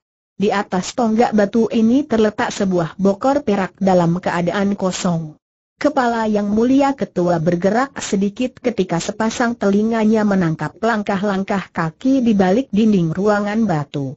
Diam-diam dalam hati dia menghitung gerakan langkah kaki di balik dinding batu. Di lorong di luar sana ada empat orang tengah berjalan menuju ruang bendera darah. Cocok dengan perhitungan. Yang datang adalah orang-orang yang telah ditunggunya. Langkah kaki berhenti. Lalu ada suara ketukan pada pintu batu. Ketua barisan manusia pocong 113 lorong kematian segera tekan tombol pada ujung kanan lengan kursi yang didudukinya. Secara aneh bagian tengah dinding batu di hadapannya bergerak turun ke bawah membentuk pintu terbuka. Api pendupaan di empat sudut ruang bendera darah tiba-tiba menyala terang. Asap kehuhu mengepul ke atas sampai menyentuh langit-langit ruangan. Di luar sana, di depan pintu, pada ujung lorong batu berdiri empat sosok. Tiga di antara mereka mengenakan jubah putih dan tutup kepala putih. Tiga manusia pocong ini adalah wakil ketua, dua satria pocong yang bertindak sebagai pengawal dan masing-masing membawa sebuah bokor perak berisi darah. Di antara dua satria pocong ini berdiri manusia pocong keempat. Bau wangi aneh menebar dari tubuhnya yang semampai, Ketika melangkah masuk walau gerakannya enteng namun kelihatan jelas gerak sepasang kaki serta dua tangannya mengayun kaku. Seperti tiga manusia pocong yang berbarengan masuk dengannya, manusia pocong satu ini mengenakan jubah dalam dan kain penutup kepala. Namun pada penutup kepala, di atas kening, ada sebuah mahkota kecil hijau bercahaya. Kalau tiga manusia pocong lainnya, seperti juga Seng Ketua mengenakan jubah putih tebal, manusia pocong satu ini memakai jubah putih yang begitu tipis. Hingga walau samar, auratnya masih bisa terlihat cukup jelas. Lalu di bawah kain penutup kepala di sebelah belakang menjulai panjang rambut hitam berkilat. Dari keadaan manusia pocong satu ini jelas dia adalah seorang perempuan. Di belakang sana terdengar suara desiran halus. Pintu batu yang tadi membuka kini bergerak naik menutup dinding. Untuk beberapa ketika ruang bendera darah diselimuti kesunyian. Ada hawa ketegangan menggantung di udara. Yang mulia ketua memberi isyarat dengan gerakan jari-jari tangan kanan. Melihat isyarat ini empat manusia pocong segera bergerak melangkah. Begitu sampai di hadapan yang mulia ketua barisan manusia pocong 113 lorong kematian, Keempat orang itu sama menjura, laju mendongak dan secara berbarengan keluarkan seruan. Salam hormat untuk yang mulia ketua. Hanya perintah yang mulia ketua yang harus dilaksanakan. Hanya yang mulia ketua seorang yang wajib dicintai yang mulia ketua barisan manusia pocong bangkit dari kursi batu, angkat tangan kanan ke depan lalu keluarkan ucapan. Wakil ketua, kau tahu apa yang harus dilakukan. Laksanakan tugasmu wakil ketua barisan manusia pocong 113 lorong kematian melangkah mendekati satria pocong di samping kanan. Satria pocong ulurkan tangan, serahkan bokor perak berisi darah yang dipegangnya. Setelah menerima bokor wakil ketua melangkah ke arah tangga batu yang menempel di dinding belakang ruang bendera darah. Perlahan-lahan dia menaiki 13 undakan batu. Pada undakan terakhir di sebelah atas dia hentikan langkah, berpaling ke bawah. Saat itu pula Satria Pocong kedua segera tinggalkan tempat, melangkah ke arah tonggak batu setinggi pinggang. Dengan hati-hati dia letakkan bokor berisi darah yang dibawanya di atas tiang batu, tepat di sebelah bokor perak kosong. Selesai meletakkan bokor berisi darah orang ini melangkah mundur, kembali ke tempat semula. Tak ada yang bergerak, Tak ada yang bersuara. Ruang bendera darah kembali diselimuti kesunyian dan ketegangan. Wakil Ketua. Kau boleh mulai tiba-tiba suara yang mulia Ketua menggema di ruangan batu. Mendengar ucapan Seng Ketua, Wakil Ketua Barisan Manusia Pocong ulurkan dua tangan yang memegang bokor perak ke depan. Dengan hati-hati, perlahan-lahan dia curahkan cairan darah di dalam bokor ke atas bendera besar segitiga merah. Kucuran darah jatuh membasahi induk bendera darah, sebagian meresap pada kain bendera, sebagian lagi meluncur ke bawah, jatuh tepat dan masuk ke dalam lubang pada ubun-ubun tengkorak yang terletak di tiang batu miring. Begitu darah memasuki tengkorak terjadi beberapa keanehan. Induk bendera darah berbentuk segitiga besar yang basah tiba-tiba bergerak hidup, seolah digerakkan oleh tangan yang tidak kelihatan, bendera ini berkibas keras. Darah yang membasahi bendera menyiprat ke dinding dan lantai ruangan batu. Menempel sesaat lalu secara aneh lenyap tak berbekas. Di atas sana induk bendera darah kembali kuncup tak bergerak. Keanehan berikutnya, begitu cairan darah masuk ke dalam tengkorak lewat bolongan di ubun-ubun, tiba-tiba sepasang mata, tengkorak memancarkan cahaya merah laksana ada api yang membersit dari sebelah dalam. Lalu empat api pendupaan di sudut ruangan batu menyala terang. Asap kewu mengepul ke atas. Di lantai ruangan terasa ada getaran-getaran halus. Darah yang masuk ke dalam tengkorak melalui lubang di ubun-ubun mengucur keluar melewati mulut tengkorak dan selanjutnya masuk tertampung dalam bokor perak kosong yang terletak di atas tiang batu setinggi pinggang. Di atas tangga batu, begitu darah dalam bokor perak habis, Wakil Ketua Barisan Manusia Pocong perlahan-lahan tarik tangannya kembali. Dia tak berani bergerak sebelum ada perintah dari Seng Ketua. Wakil Ketua, tugasmu selesai. Kau boleh turun, suara yang mulia Ketua menggema di ruangan batu. Wakil Ketua putar tubuh, lalu melangkah menuruni tangga 13 undakan. Sampai di bawah dia serahkan bokor yang telah kosong pada satria pocong yang semula membawanya. Kesunyian kembali mencekam di ruangan batu. Sepasang matu seng ketua menatap ke arah dua buah bokor di atas tonggak batu setinggi pinggang. Perlahan-lahan, tanpa mengeluarkan suara sedikit pun dia melangkah ke arah tiang batu. Di depan tiang dia tegak diam sejenak, kepala tertunduk. Dari balik kain putih penutup kepala terdengar suaranya mengucapkan sesuatu, bergumam tak jelas. Mungkin tengah merapal mantra. Kemudian kelihatan Seng Ketua angkat kedua tangannya, lalu dimasukkan ke dalam bokor berisi darah yang berasal dari curahan lewat induk bendera darah. Terdengar suara riak cairan. Seng Ketua seperti tengah mencuci tangan dengan darah di dalam bokor. Anehnya ketika tangan yang basah dikeluarkan, sama sekali tidak ada merah nodanya darah. Kedua tangan itu seperti diceluk dan dicuci di dalam air biasa. Wakil ketua keluarkan secari kain merah dari balik jubah lalu diberikan pada yang mulia ketua. Selesai mengeringkan tangannya dengan kain merah yang mulia ketua kembalikan kain itu pada wakilnya lalu pergi duduk di kursi batu. Dari tempatnya berdiri wakil ketua kemudian berseru. Satria Pocong, letakkan bokor yang kau bawa di atas meja batu. Satria Pocong yang sejak tadi berdiri memegangi bokor perak segera laksanakan perintah. Bokor berisi cairan darah diletakkan di atas meja batu lalu dengan cepat dia kembali ke tempat semula. Seng ketua perhatikan bokor itu sesaat lalu menatap ke arah manusia pocong perempuan yang tegak beberapa langkah di hadapannya. Yang mulia Sri Paduka Ratu, Apakah kau telah siap untuk menerima berkah berupa pembasahan dan pensucian kepalamu dari tempatnya duduk Seng? Kedua keluarkan ucapan, ajukan pertanyaan. Pocong perempuan yang dipanggil dengan sebutan yang mulia Sri Paduka Ratu tundukkan kepala sedikit lalu berkata, hanya perintah yang mulia ketua yang harus dilaksanakan. Hanya yang mulia ketua seorang yang wajib dicintai bagus. Sekarang majulah dua langkah, tanggalkan kain penutup kepalamu dan berlutut di hadapanku sesuai perintah Seng Ketua, pocong perempuan maju dua langkah. Gerakan kaki dan ayunan tangan kelihatan kaku. Lalu dengan tangan kanannya dia membuka kain penutup kepala bermahkota hijau.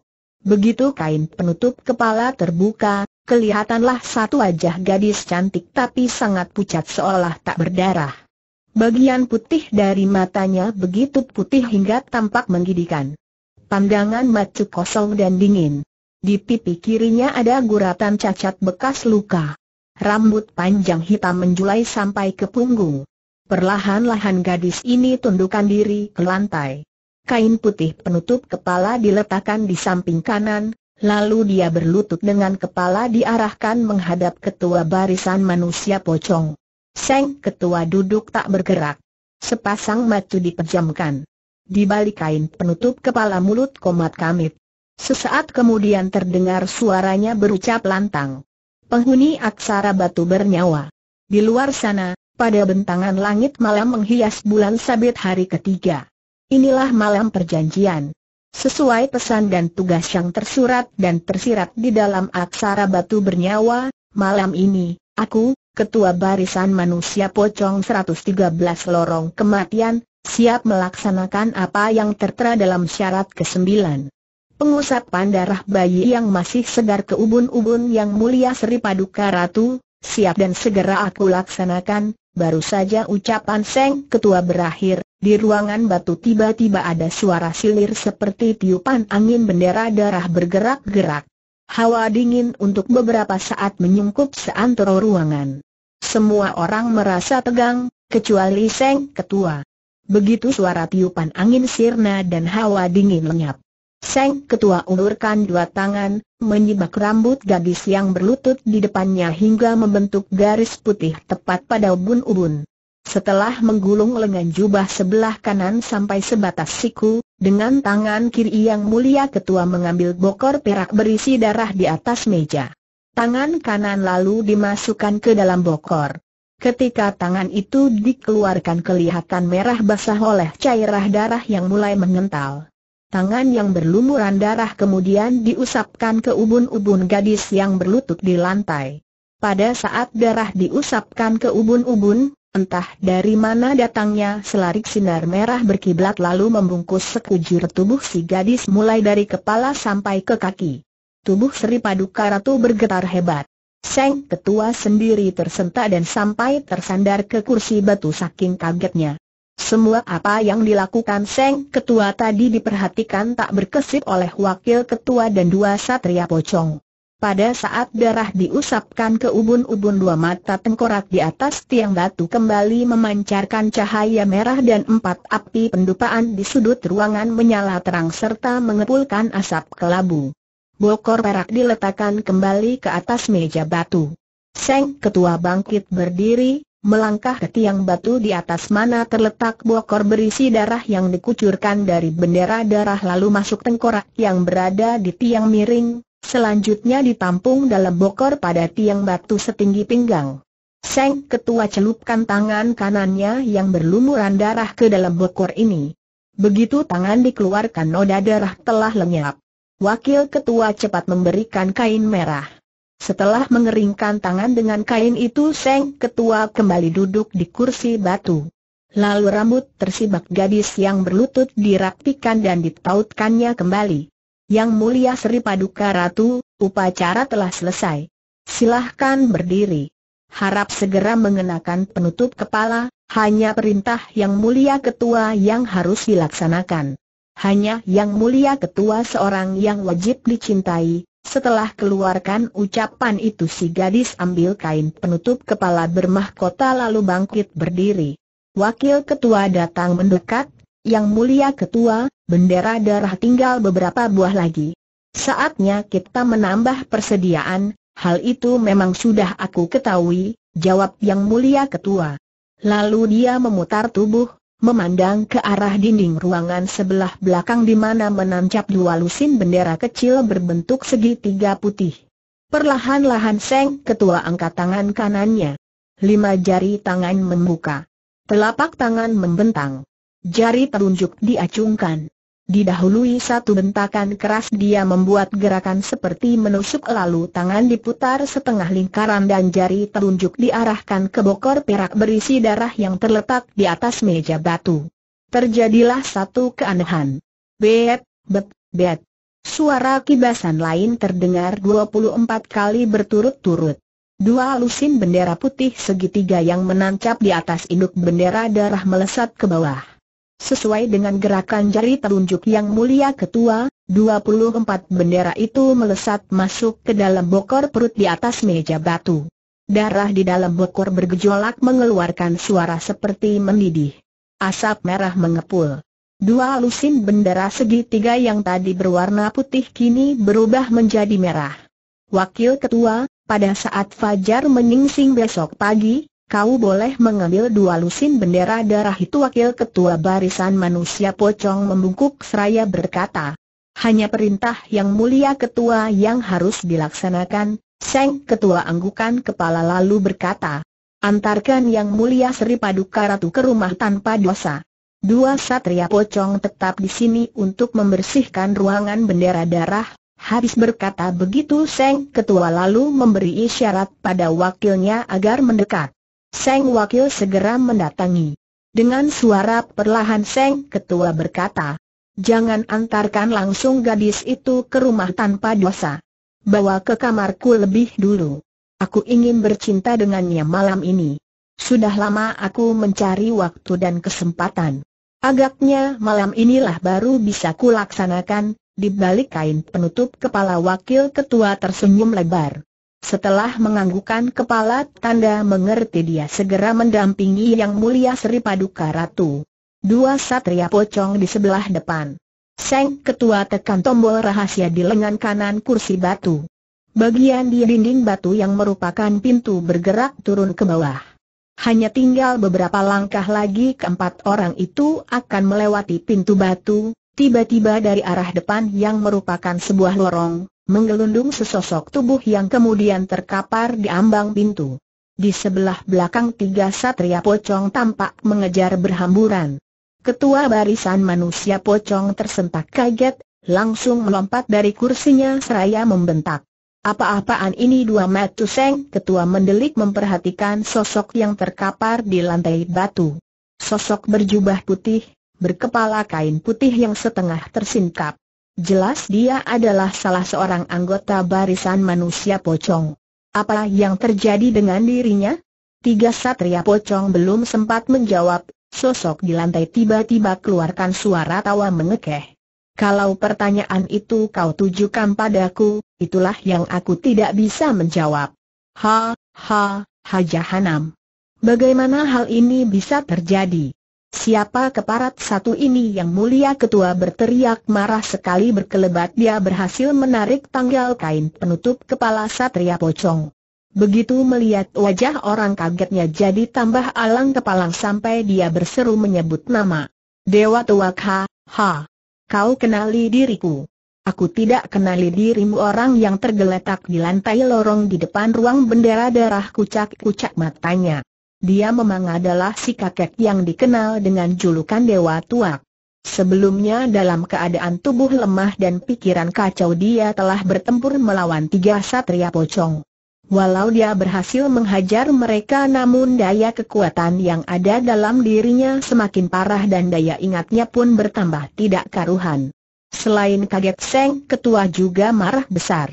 Metu Seng Ketua membelalak pada tiga satria pocong yang muncul berbarengan dengan Dewa Tua. Gila! Bagaimana tua bangka ini bisa lolos? Bagaimana otaknya masih jernih? Aku tidak akan memberi ampun pada siapa saja yang telah melakukan kesalahan tiga satria pocong ketakutan setengah mati. Ketiganya segera menjura dalam sambil berkata berbarengan. Mohon ampunmu yang mulia ketua, salah seorang di antara mereka lalu beranikan diri memberi keterangan. Mohon maafmu yang mulia ketua. Kami tidak tahu bagaimana kejadiannya dia bisa lolos dari kamar sekapan. Ketika kami pergoki dia telah berada di lorong 102. Kami segera hendak membekuknya. Tapi dia melawan. Mohon maaf, kami bertiga sempat dihajarnya. Lalu dia melarikan diri ke arah sini. Kami mengejar sambil melepaskan tiga pukulan berbarengan. Pukulan kami membuat dia jatuh menggelundung tepat ketika pintu ruang bendera darah terbuka, jahanam. Ada yang tidak beres teriak Seng Ketua semakin marah. Wakil Ketua cepat mendekati dan berbisik. Dewa Tuak bukan orang sembarangan. Dia memiliki hawa sakti dan tenaga dalam sangat tinggi. Dua kekuatan itu bisa saja merupakan daya tolak dari apa yang telah kita lakukan terhadapnya. Tapi percayalah, daya ingatnya tidak akan bertahan lama. Dia segera akan tunduk pada perintah dan kemauan kita, jangan bicara tolol padaku. Sudah berapa lama dia mendekam di tempat ini? Tokoh silat lainnya begitu dicekoki minuman selamat datang langsung punah daya ingatnya. Mengapa dia tidak saya akan menyelidik? Saya akan urus tua bangka satu ini. Harap yang mulia ketua memberi izin, kalau begitu lekas kau ringkus dia jebloskan kembali ke kamar tahanan. Kita memerlukan dirinya dalam waktu singkat, perintah Seng Ketua. Jangan khawatir. Hanya perintah yang mulia ketua yang harus dilaksanakan. Saya akan meringkus dan memberikan minuman tambahan padanya ketika wakil ketua hendak bergerak. Yang mulia ketua pegang bahu jubah orang ini lalu berkata, satu dari dua satria pocong yang bertindak sebagai mat-mat telah memberitahu padaku. Kawasan Telaga Sarangan telah didatangi orang-orang tak dikenal. Hari-hari besar yang kita tunggu akan segera datang, saya gembira, jawab wakil ketua, asalkan yang mulia ketua mau berbagi rejeki dengan saya. Kita sudah menentukan bagian dan rejeki masing-masing. Tapi jika kau bertindak lamban, perhitungan rejekimu akan jatuh ke tangan orang lain, wajah wakil ketua di balik kain putih penutup kepala menyeringai, kalau itu sampai terjadi, saya akan sangat kecewa. Karena sejak dia membunuh saudara saya, jelas-jelas nyawanya adalah milik saya, itu sudah menjadi perjanjian di antara kita. Tapi jangan lupa wakil ketua. Banyak orang dan banyak tangan yang ingin dan bisa membantainya. Sekarang lekas kasingkirkan tua bangka itu, hanya perintah yang mulia ketua yang harus dilaksanakan habis berkata begitu wakil ketua melompat ke arah sosok dewa tuak yang masih bergelung di lantai batu sambil mengumbar tawa. Tiba-tiba, hek, satu totokan yang didaratkan wakil ketua ke urat besar di pangkal leher membungkam mulut dan membuat kaku sekujur tubuh dewa tuak. Ratu Duyung lama-lama jadi kesal. Setiap dia memacu kuda meninggalkan Sutri Kaliangan di belakang, dia terpaksa berbalik kembali atau menunggu. Putri Patih kerajaan itu menunggang kuda perlahan santai-santai saja. Aku tak mengerti, Ratu Duyung keluarkan ucapan. Sewaktu di kota raja kau begitu bersemangat untuk segera melakukan perjalanan. Kau sangat khawatir atas keselamatan pendekar 212 Wiro Sableng. Sekarang kau malah menunggang kuda perlahan enak-enakan. Seperti orang tengah tamasya. Apa kau tidak melihat Seng Surya sudah jauh condong ke barat?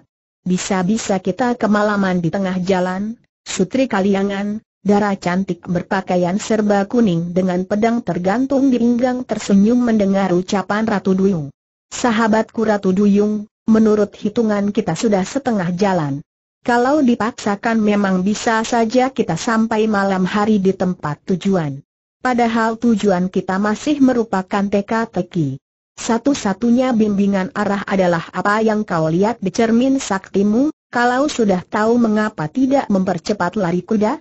Aku tidak mau bolak-balik menjemputmu dan meminta agar bergerak lebih cepat, Ratu Duyung, dengar. Sedikit banyak aku cukup mengenali kawasan yang telah kita lewati dan yang bakal kita tempuh. Jika kita terus mengikuti arah, di depan sana kita akan menemui sebuah gunung bernama Gunung Kukusan. Di sebelah barat ada Gunung Lawu. Di dalam cermin kau melihat ada bahaya besar mengancam Wiro. Kalau kita memasuki daerah tujuan pada malam hari, apakah menurutmu bukan berarti kita mencari bahaya Ratu Duyung diam saja? Sutri Kaliangan meneruskan kata-katanya. Kita perlu istirahat dua tunggangan kita juga perlu istirahat. Besok pagi kita lanjutkan perjalanan, besok pagi. Apa maksudmu, Sutri kita bakal melewati sebuah kampung bernama Jati Purno. Ayahku memiliki sebuah rumah di sana. Karena terletak tak jauh dari kaki gunung kukusan udaranya sejuk, pemandangan sangat indah. Nah, kita bermalam di Jati Purno. Kita perlu mandi, cukup istirahat dan cukup tidur, kau tidak lagi mengkhawatirkan keselamatan Wiro siapa bilang tidak mengkhawatirkan tapi jangan lupa memikirkan keselamatan diri sendiri. Kalau kau berniat terus melanjutkan perjalanan, aku tak bisa menghalangi. Aku tetap akan singgah di Jati Purno, setelah menimbang sesaat akhirnya Ratu Duyung berkata, baiklah. Aku mengalah. Kita bermalam di Jati Purno. Tapi besok pagi-pagi sekali, sebelum matahari terbit kita harus sudah melanjutkan perjalanan, Sutri Kaliangan tertawa lebar, sahabatku, agaknya kau juga mengkhawatirkan keselamatan pemuda itu. Kurasa bukan hanya sekedar mengkhawatirkan. Mungkin juga ada rasa rindu. Sudah berapa lama kalian tidak bertemu Ratu Duyung tidak menjawab. Aku mendengar, Banyak sekali para gadis tergila-gila pada pendekar itu. Yang sudah pasti Anggini dan Bidadari Angin Timur. Aku tahu waktu di gedung kepatihan tadi malam mereka berpura-pura acuh ketika ku ajak agar segera sama-sama berangkat. Aku yakin, keduanya mencari jalan sendiri-sendiri. Mungkin ingin mendahului kita menemui pemuda itu, apakah kau merasa cemburu kalau bidadari angin timur atau Anggini berhasil menemukan Wiro lebih dulu oh, oh. Justru hal itu yang akan aku tanyakan padamu, kata Sutri Kaliangan pula sambil tersenyum dan melirik. Gadis ini tertawa kecil ketika melihat wajah Ratu Duyung bersemu merah. Kau tak mau menjawab. Ratu, apakah kau mencintai Yo? Hem, aku bisa melihat pada raut wajah dan sinar matamu. Kau mencintai pemuda itu, Sutri, jika kau terus menggoda, aku lebih baik melanjutkan perjalanan seorang diri. Terus terang, aku tidak merasa perlu singgah di Jatipurno, Sutri Kaliangan dekatkan kudanya ke kuda Ratu Duyung lalu pegang lengan gadis bermata biru itu, harap kau jangan marah. Aku hanya bergurau. Soalnya, gadis mana yang tidak terpikat dengan pemuda seperti Wiro? Pendekar berkepandaian tinggi, berbadan tegap berwajah gagah. Selain itu baik hati pula. Banyak yang meramalkan dia bakal jadi tokoh utama dalam rimba persilatan tanah Jawa, pendekar berkepandaian tinggi, berbadan tegap berwajah gagah. Selain itu baik hati pula. Diramalkan bakal menjadi tokoh utama dalam rimba persilatan tanah Jawa, Ratu Duyung mengulangi ucapan Sutri Kaliangan lalu cepat menyambung. Kau seorang gadis cantik jelita, putri patih kerajaan, juga memiliki ilmu silat tinggi. Bukankah merupakan pasangan yang cocok dan serasi kini Ratu Duyung yang menggoda Sutri Kaliangan? Yang digoda tertawa panjang. Aku boleh dibilang gadis yang ketinggalan kereta. Bagaimana mungkin bisa bersaing dengan para sahabat yang telah lebih dulu mengenal Wiro? Bidadari angin timur, Anggini dan kau sendiri, kurasa kau lebih mendapat perhatian karena kau putri patih kerajaan. Cantik, Menurutmu begitu tanya Sutri lalu menjawab sendiri pertanyaannya. Kurasa tidak. Ketika ayahku menawarkan jabatan Panglima Kerajaan padanya, sebagai balas jasa dalam membantu mendapatkan melati tujuh racun, satu-satunya obat yang mampu menyembuhkan penyakit ayah, dia menolak. Berarti dia tidak ada perhatian pada diriku, menolak jabatan bukan berarti menolak cinta seorang gadis cantik sepertimu. Justru di situlah keluaran budinya sebagai seorang pendekar. Dia tidak mau menjual diri dengan jabatan. Lebih dari itu dia tidak mau merendahkan makna cinta dan kasih sayang dengan balas jasa, apa pun alasan penolakannya, yang jelas aku tidak mungkin mendapatkan dirinya, kata Sutri Kaliangan pula. Suaranya perlahan seperti sedih, namun di mulutnya terkulum sekelumit senyum. Jangan terlalu berhibah diri, sahabatku. Dibanding dengan kami-kami rasanya kau lebih punya kesempatan. Apakah kau pernah mengajuh hatinya? Apakah kalian pernah berdua-dua hai? Kau tengah menyelidiki diriku kata Sutri Kaliangan lalu tertawa cekikikan Sutri Kaliangan dan Ratu Duyung sampai di Jatipurno tepat ketika Seng Surya tenggelam di ufuk barat. Rumah milik ayah Sutri itu selain besar juga sangat bagus dan kokoh bangunannya mulai dari tangga sampai tiang dan dinding dipenuhi ukiran-ukiran bagus dan halus. Setelah dua gadis itu mandi, penjaga rumah bersama istri menyiapkan makan malam. Selesai makan Sutri menyuruh suami istri itu pulang ke rumah mereka yang terletak tak jauh dari situ. Ketika meninggalkan rumah, Ratu Duyung sempat melihat keduanya berbisik-bisik sambil menuruni tangga dan sesekali menoleh ke belakang memperhatikan dirinya. Walau heran melihat sikap dua suami istri itu namun Ratu Duyung tidak berkata apa-apa. Di rumah ini ada dua kamar. Besar-besar. Sebaiknya kita tidur di satu kamar saja. Kita bisa ngobrol macam-macam sebelum tidur, begitu Sutri Kaliangan berkata dan ditanggapi wajar-wajar saja oleh Ratu Duyung. Sebelum masuk ke dalam kamar Sutri Kaliangan mengeluarkan sebuah tabung kecil. Tabung ini ternyata berisi minyak wangi. Begitu penutup tabung dibuka, bau harum luar biasa memenuhi ruangan. Sutri mengusapkan minyak wangi di leher, belakang telinga dan pangkal dadanya. Lalu tabung minyak diserahkan pada Ratu Duyung. Pakailah, terima kasih, aku tak biasa memakai minyak wangi, jawab Ratu Duyung tidak berdusta. Selain itu dia merasa setiap dah menghela nafas, harumnya minyak wangi itu mendatangkan perasaan aneh dalam dirinya. Sekali ini harus. Nanti kau akan biasa. Aku masih ada persediaan satu tabung. Kau boleh ambil yang satu ini. Pakailah, karena Sutri Kaliangan memaksa terus, Ratu Duyung mengambil juga tabung kecil berisi minyak wangi itu tapi tidak dipakainya. Tabung diselipkan di balik pakaian. Tak lama kemudian keduanya masuk ke dalam kamar. Mereka mengobrol sebentar, Mungkin karena keletihan Ratu Duyung tertidur lebih dulu Ratu Duyung tidak tahu berapa lama dia telah tertidur ketika mendadak terbangun. Pertama sekali bau harum minyak wangi menusuk hidung, masuk ke dalam jalan pernafasannya. Ada perasaan aneh. Seperti pertama kali mencium bau itu ketika Sutri Kaliangan mengusapkan ke tubuhnya. Lalu dia merasakan ada pelukan kuat di pinggang. Ada himpitan kaki di pahanya. Dia juga merasakan hembusan nafas panas setelah itu ada ciuman di pipi dan pangkal lehernya. Darah Ratu Duyung mengalir cepat. Jantungnya berdegup keras. Ada kehangatan aneh menyungkupi dirinya. Apakah aku bermimpi, pikir Ratu Duyung. Dibukanya kedua matanya. Tepat ketika ada satu wajah tersenyum mesra menedungi wajahnya dan hendak mengecup bibirnya. Ratu Duyung cepat mendorong tubuh orang yang menghimpitnya. Memandang ke depan serasa tak percaya dia. Sutri Kaliangan duduk di atas ranjang, tersenyum padanya. Dan gadis ini, tak sehelai pakaian pun melekat di tubuhnya. Sutri, apa yang kau lakukan terhadap putanya Ratu Duyung heran. Sutri Kaliangan masih tersenyum. Lidahnya yang merah dijulurkan membasahi bibir. Memangnya aku melakukan apa balik bertanya Sutri.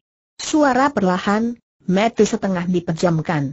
Barusan, barusan apa ucap Sutri lirih? Kau memelukku. Kau menciumku. Kau juga hendak mengecup bibirku, Sutri Kaliangan dongakkan kepala lalu tertawa panjang. Apakah itu aneh ucap Putri Patih kerajaan ini sambil tangannya mengelus paha Ratu Duyung. Ratu Duyung cepat tepiskan tangan gadis itu. Tentu saja aneh. Bagiku sangat aneh jawab Ratu Duyung. Suaranya keras tanda kesal. Tubuhnya terasa semakin hangat. Jangan menduga yang bukan-bukan sahabatku. Malam begitu dingin. Tidak ada selimut di atas ranjang. Kita tidur berdua-dua. Apakah aku tidak boleh mencari kehangatan dengan memeluk tubuhmu yang bagus tersirap darah Ratu Duyung mendengar kata-kata Sutri Kaliangan itu. Tapi, kau bukan cuma memelukku. Kau menciumiku. Kau hendak mengecup bibirku, ketika kau tertidur, aku masih sulit memejamkan mata. Aku pandangi wajahmu yang cantik seperti boneka. Aku kagumi tubuhmu yang putih mulus dan bagus.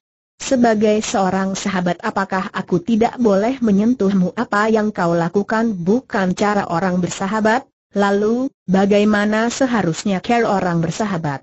Tunjukkan padaku, kata Sutri Kaliangan lalu rebahkan dadanya yang putih terbuka ke bahu Ratu Duyung.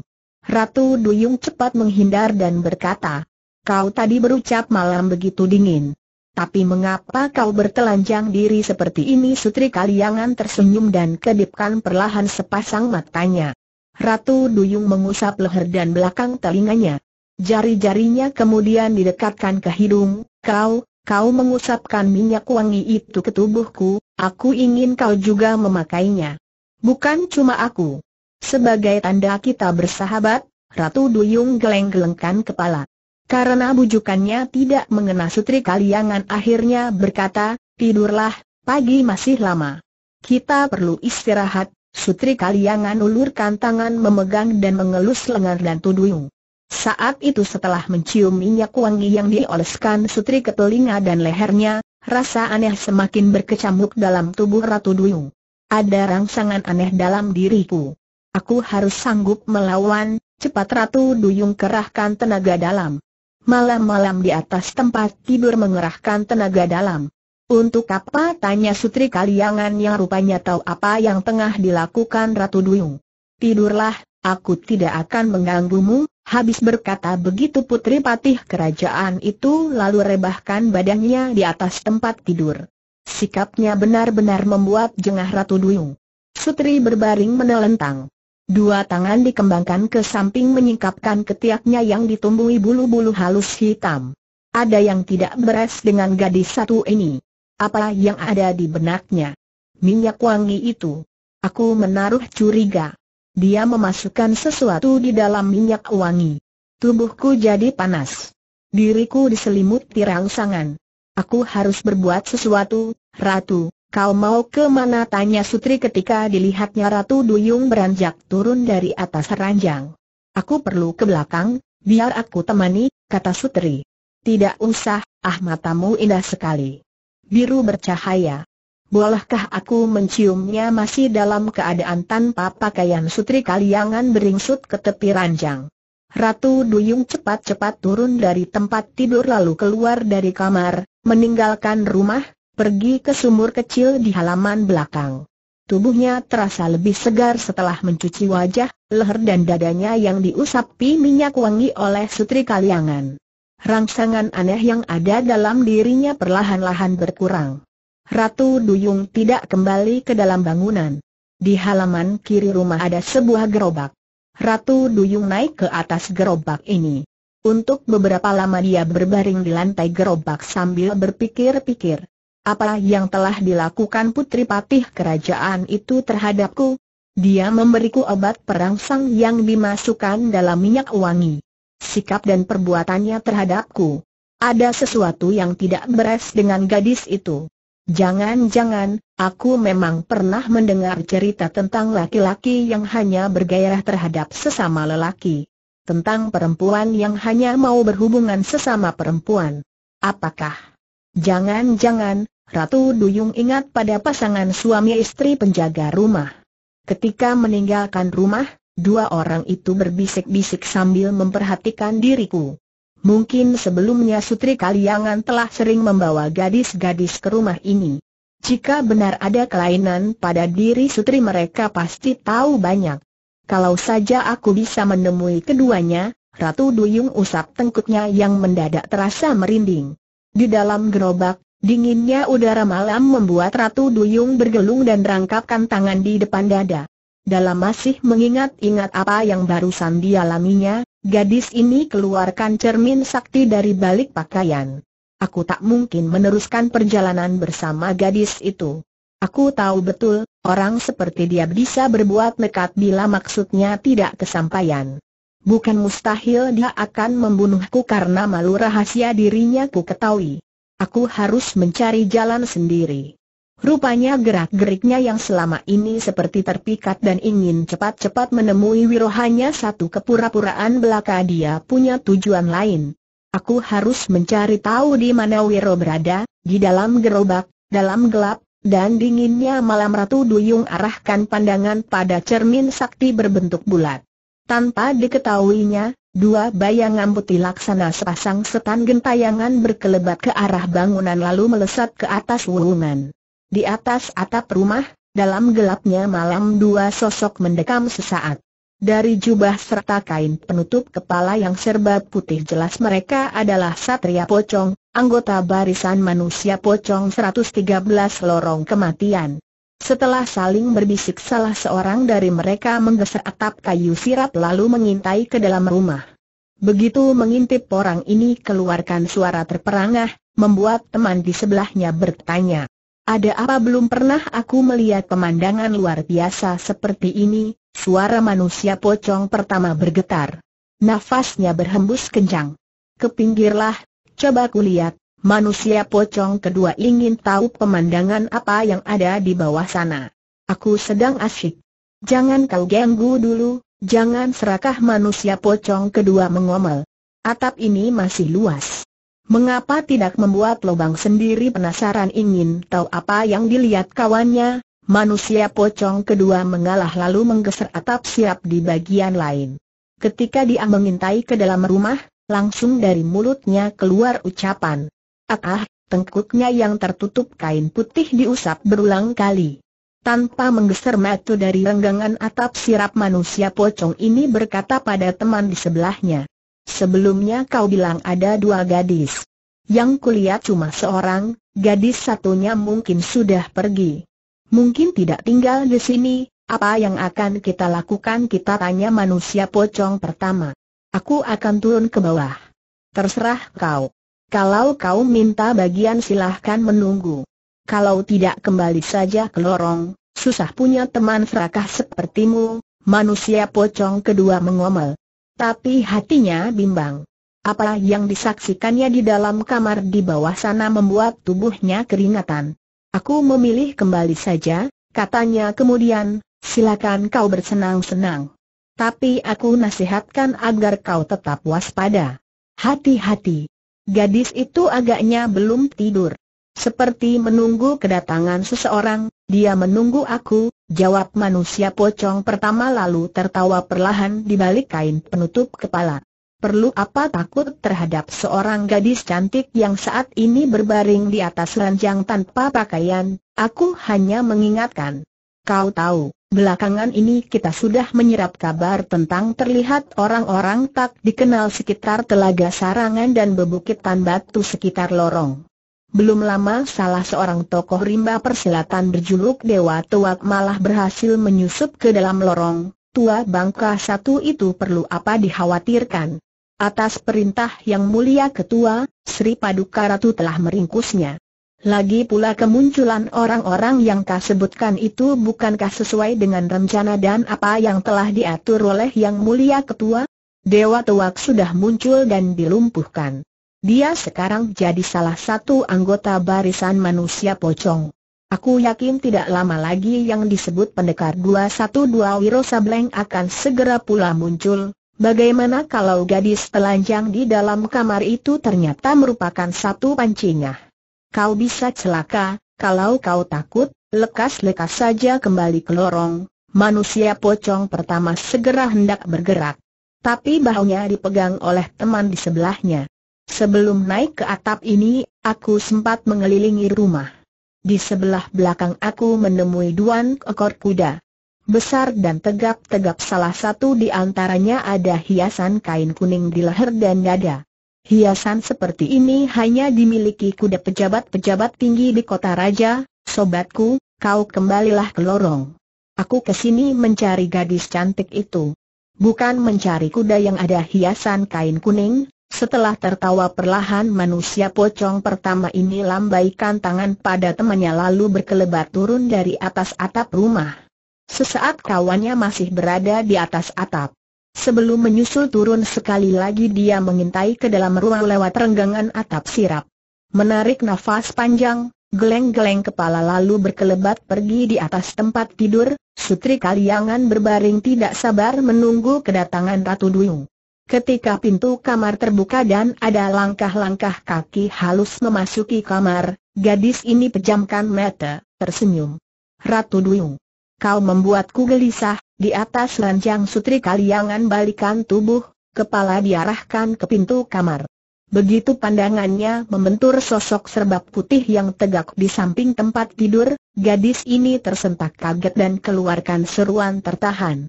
Kejap itu juga dalam keadaan tidak sadar akan keadaan auratnya, gadis ini melompat turun ke lantai.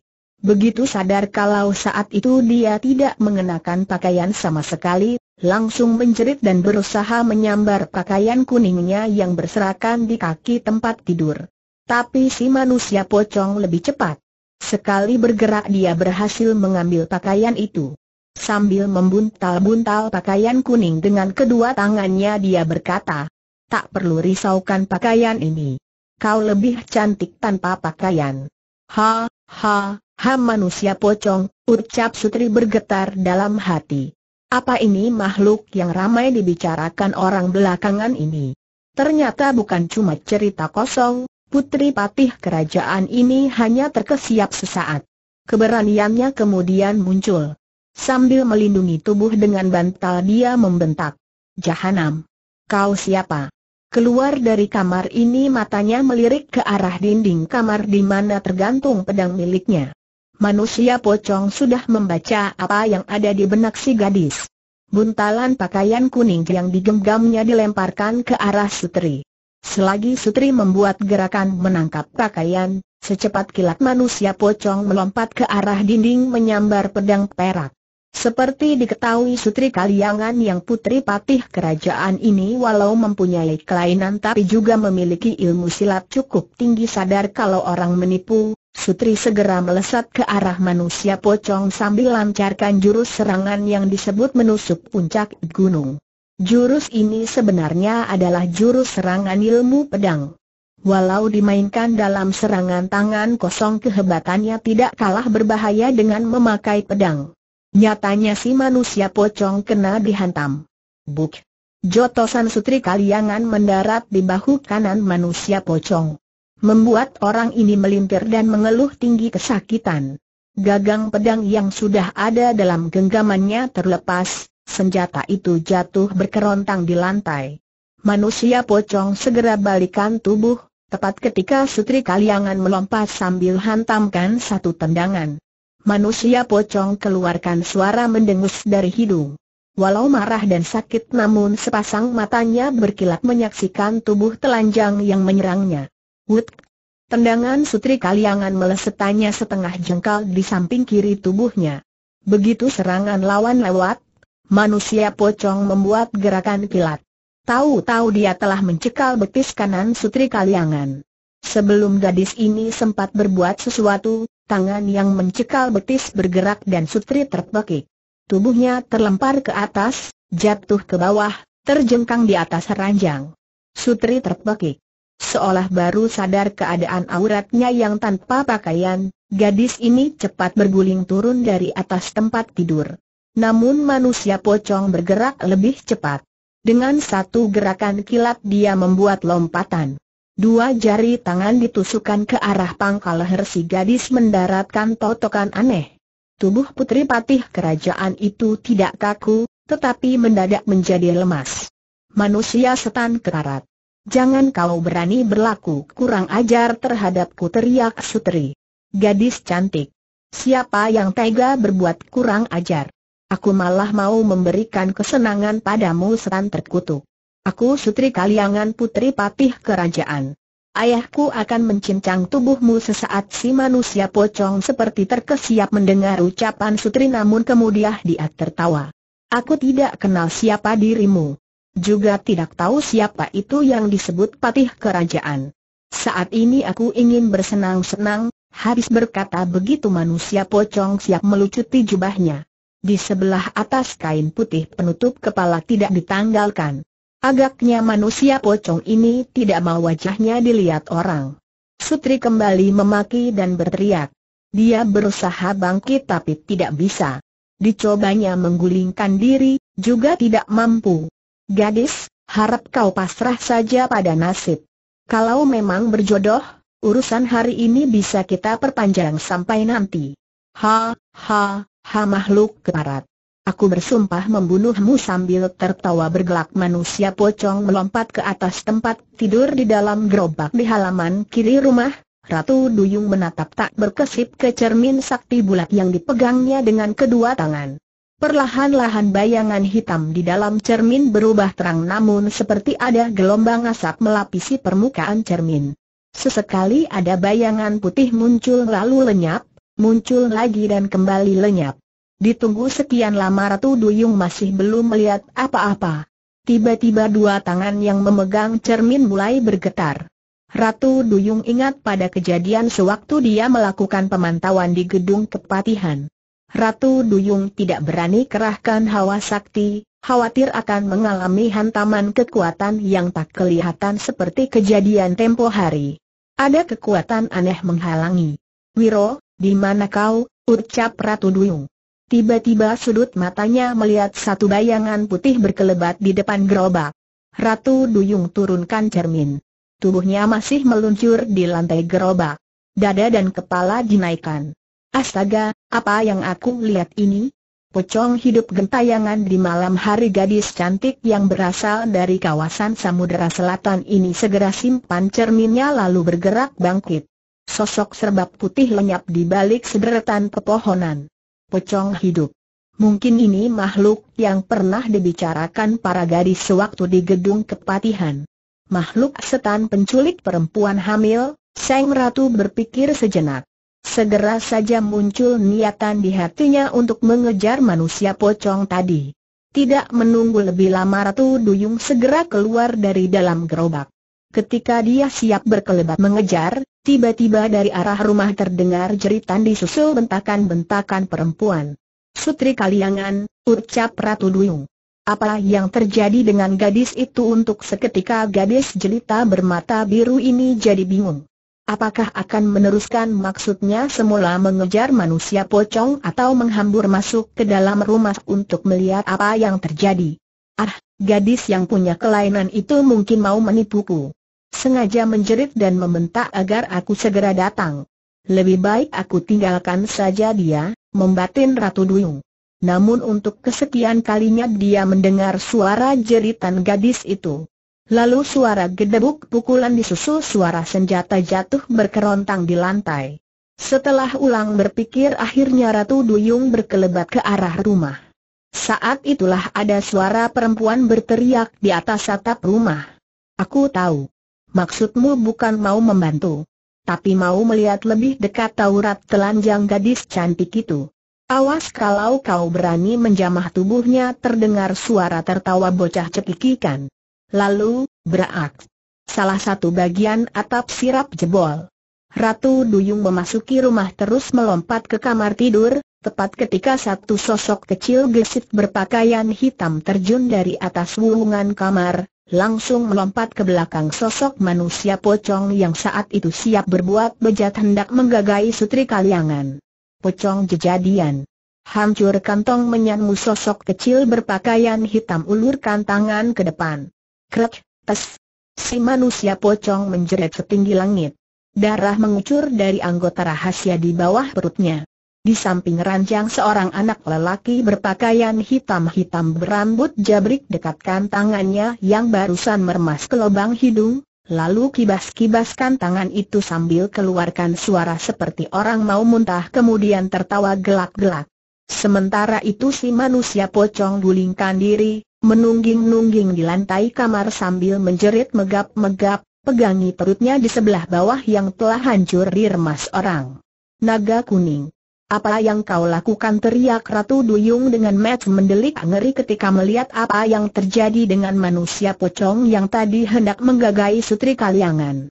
Aku hanya mengusap gituannya. Heran, kenapa dia melimpir kelojotan seperti itu.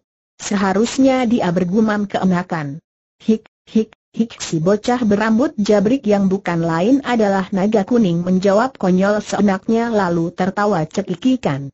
Bocah Edan kurang ajar maki Ratu Duyung tapi dengan wajah setengah tersenyum. Ratu, mohon maafmu. Mungkin tadinya kau bermaksud merabat perabotan orang. Tapi kedahuluan oleh aku. Ha, ha, ha anak stan. Siapa sudi melakukan yang kau katakan itu Ratu Duyung berteriak marah. Si bocah Nagakning kembali tertawa gelak-gelak sambil matanya melirik ke arah sosok tak berpakaian sutri kaliangan yang tertelentang di atas tempat tidur. Hai! Kalian jangan cuma tertawa-tawa. Lekas tolong diriku sutri kaliangan berteriak. Di samping tempat tidur si manusia pocong masih menjerit-jerit lalu melompat ke arah pintu. Ratu Duyung cepat menghalangi namun ditabrak dengan keras hingga gadis itu terdorong jauh ke dinding kamar. Biarkan pocong keparat itu kabur dia akan mati kehabisan darah. Yang penting tolong dulu diriku. Aku ditotok Sutri Kaliangan kembali berteriak Ratu Duyung berpikir. Sutri sudah ada orang yang menolong, lebih baik dia mengejar manusia pocong. Ratu Duyung cepat keluar dari kamar. Ketika sampai di luar rumah, seekor kuda menghambur dalam kegelapan. Manusia pocong. Dia kabur dengan kuda milik Sutri Kaliangan Ratu Duyung kepakan tinju lalu cepat lari ke samping rumah. Di situ masih ada seekor kuda yakni kuda yang sebelumnya ditungganginya dalam perjalanan dari kota Raja bersama Sutri. Ratu Duyung melompat ke atas kuda, segera melakukan pengejaran. Namun entah bagaimana orang menipunya, Ratu Duyung tidak berhasil mengejar manusia pocong. Orang itu lenyap dalam kegelapan padahal tadi hanya terpaut belasan tembok saja di depannya. Dalam gelap Ratu Duyung segera keluarkan ilmu menembus pandang dengan ilmu ini dia mampu melihat benda-benda dalam gelap atau terhalang benda lain yang berada dalam jarak tertentu. Hawa sakti dialirkan ke kepala, metu dikedipkan dua kali. Pandangan dipentang ke depan. Sesaat kemudian Seng Ratu melihat satu keanehan. Dia mampu melihat kuda besar yang dipergunakan manusia pocong dalam melarikan diri. Namun si penunggang sama sekali tidak kelihatan. Kuda besar itu menghambur sendirian seperti ditunggangi hantu yang tidak kelihatan. Aneh luar biasa. Dirinya dalam keadaan terluka parah. Ilmu setan apa yang dimiliki manusia pocong itu hingga dirinya tidak tembus pandang? Atau mungkin ada satu kekuatan dari luar membantu melindungi dirinya? Kekuatan yang tempo hari aku pernah lihat di cermin sakti dituntun oleh ilmu menembus pandang meski agak lamban Ratu Duyung berusaha terus mengikuti manusia pocong yang melarikan diri. Walau tidak takut akan kehilangan jejak orang yang dikejarnya tapi ada satu hal yang dikhawatirkan Ratu Duyung. Yaitu seperti yang dikatakan Sutri Kaliangan manusia pocong itu bisa saja menemui ajal kehabisan darah sebelum dia berhasil mengejar atau mengetahui serangnya. Kembali ke dalam kamar. Mendengar teriakan Sutri Kaliangan minta tolong dan memberitahu kalau dirinya berada dalam keadaan tertotok, bocah konyol berambut jabrik naga kuning segera melompat ke samping tempat tidur. Dua matanya menjelajah nakal di sekujur tubuh si gadis. Katakan, bagian mana tubuhmu yang ditotok, naga kuning kembangkan tangan kanan di atas dada Sutri Kaliangan. Telapak ke bawah dan tangan digerak-gerakan ke kiri ke kanan. Ah, pasti di bagian sini. Di bagian dadamu kata anak itu. Tangannya lalu diturunkan mendekati permukaan dada yang tidak tertutup. Bocah setan dari atas atap rumah yang jebol terdengar satu bentakan. Minggir kau. Aku yang akan menolong gadis itu. Awas kalau kau berani menyentuh tubuhnya satu sosok serba hitam, dari atas atap rumah, laksana seran terjun dari langit melesat masuk ke dalam kamar. Naga kuning didorong ke samping hingga terjajar ke dinding sambil usap-usap rambutnya yang jabrik naga kuning berkata, Kau keliwat cemburu. Masakan aku, hus. Diam. Siapa percaya dirimu? Waktu Sinto Gendeng dikeluarkan dari pendaman kau masih suka melihat tubuh telanjang nenek itu. Padahal tubuhnya kurus hitam keriputan. Apalagi tubuh gadis cantik dan bagus seperti yang ini. Oh walah, mengenai riwayat Sinto Gendeng dilepas dari pendaman bakal seri pertama berjudul 113 Lorong Kematian, Naga Kuning hanya bisa sunggingkan senyum mendengar ucapan itu. Sutri Kaliangan tercekat memperhatikan orang yang tegak di samping tempat tidur. Seorang nenek berjubah hitam. Rambut panjang kelabu, bermuka seram seperti setan. Sepuluh kuku jarinya panjang runcing dan hitam. Nek, mungkin aku pernah melihatmu sebelumnya. Tapi lupa siapa dirimu. Kau bisa melepaskan totokan di tubuhku Sutri Kaliangan keluarkan ucapan. Si nenek yang dalam rimba persilatan dikenal dengan panggilan Gondorwo patah hati tidak menyahuti pertanyaan orang. Sepasang matanya menatap sekujur tubuh Sutri Kaliangan. Mencari letak di bagian tubuh sebelah mana gadis ini telah ditotok. Jari telunjuk dan jari tengah tangan kanan ditekuk. Tiba-tiba dua jari yang ditekuk ini bergerak, ditekankan ke pangkal leher sebelah kiri Sutri Kaliangan. Des! Saat itu juga totokan yang menguasai tubuh si gadis punah. Rasa lemas lenyap. Sutri Kaliangan berseru keras, gulingkan diri ke kiri sambil menarik kain alas tempat tidur. Untuk beberapa lama dia berdiri terdiam di sudut kamar sambil lindungi auratnya dengan kain itu. Sepasang mata menatap Gondorwo patah hati dan naga kuning.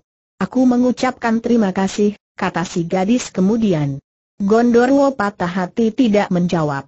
Dia melirik ke arah naga kuning lalu melangkah ke pintu sambil memberi isyarat agar si bocah mengikutinya. Sampai di ambang pintu, ketika naga kuning masih tak beranjak di tempatnya, si nenek hentikan langkah. kau masih berada di situ, apakah mau menolong gadis itu mengenakan pakaiannya si bocah tertawa lebar. Lalu menyahuti, kita sudah menolongnya. Tadi kita bercuriga bahwa orang yang hendak berbuat keji itu mungkin adalah anggota komplotan orang-orang yang suka menculik perempuan bunting. Mengapa kita tidak bertanya mencari keterangan pada gadis ini kau bisa bertanya pada orang lain. Bukan pada gadis yang masih telanjang bulat begitu rupa. Ayo ikut aku tinggalkan tempat ini, si nenek ulurkan tangan kirinya menjewer telinga naga kuning. Dalam keadaan meringis kesakitan bocah ini kemudian dibimbing keluar kamar.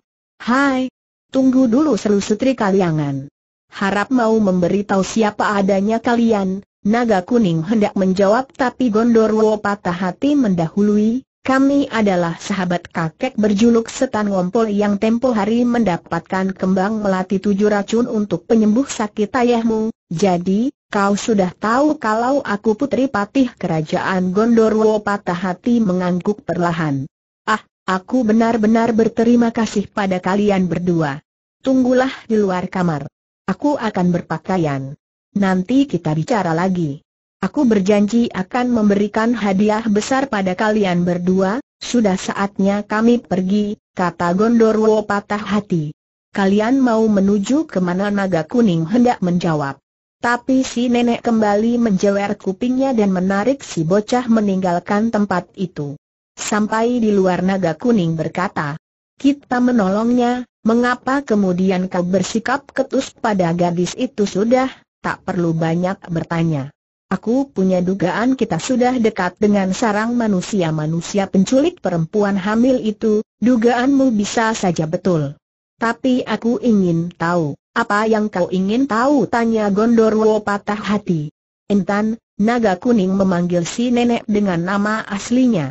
Seperti dituturkan dalam beberapa serial Wiro Sableng sebelumnya, Gondorwo patah hati bernama asli Ning Intan Lestari merupakan kekasih naga kuning di masa muda. Selain itu dia adalah anak angkat Kiai Gede Tapa Pamungkas, Guru Sinto Gendeng yang asal muasal memiliki kapak maut naga geni 212 dan pedang naga suci 212.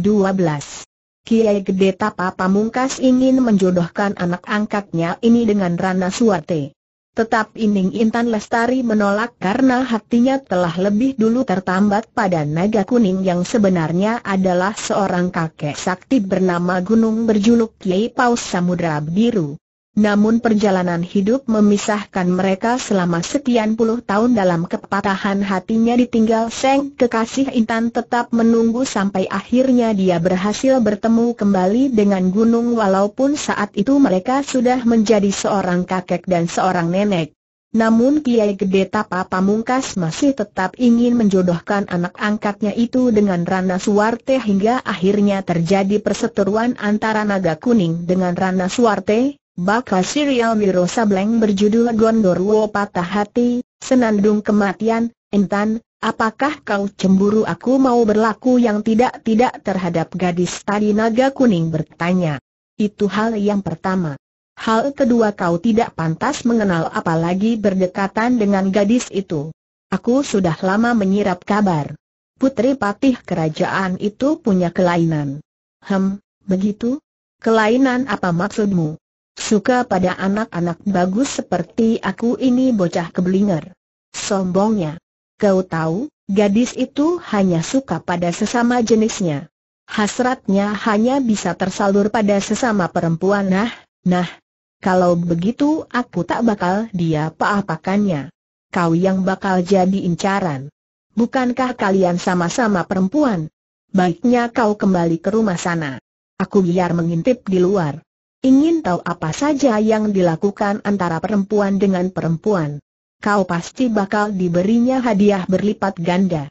Ha, ha, ha, gelak tawa naga kuning langsung berhenti begitu jari-jari tangan Gondorwo patah hati memuntir daun telinga kirinya kembali pada Wulan Serindi, murid perguruan silat Lawu Putih. Seperti diceritakan sebelumnya gadis ini sempat diculik dan hendak diperkosa oleh Warok Jangkrik.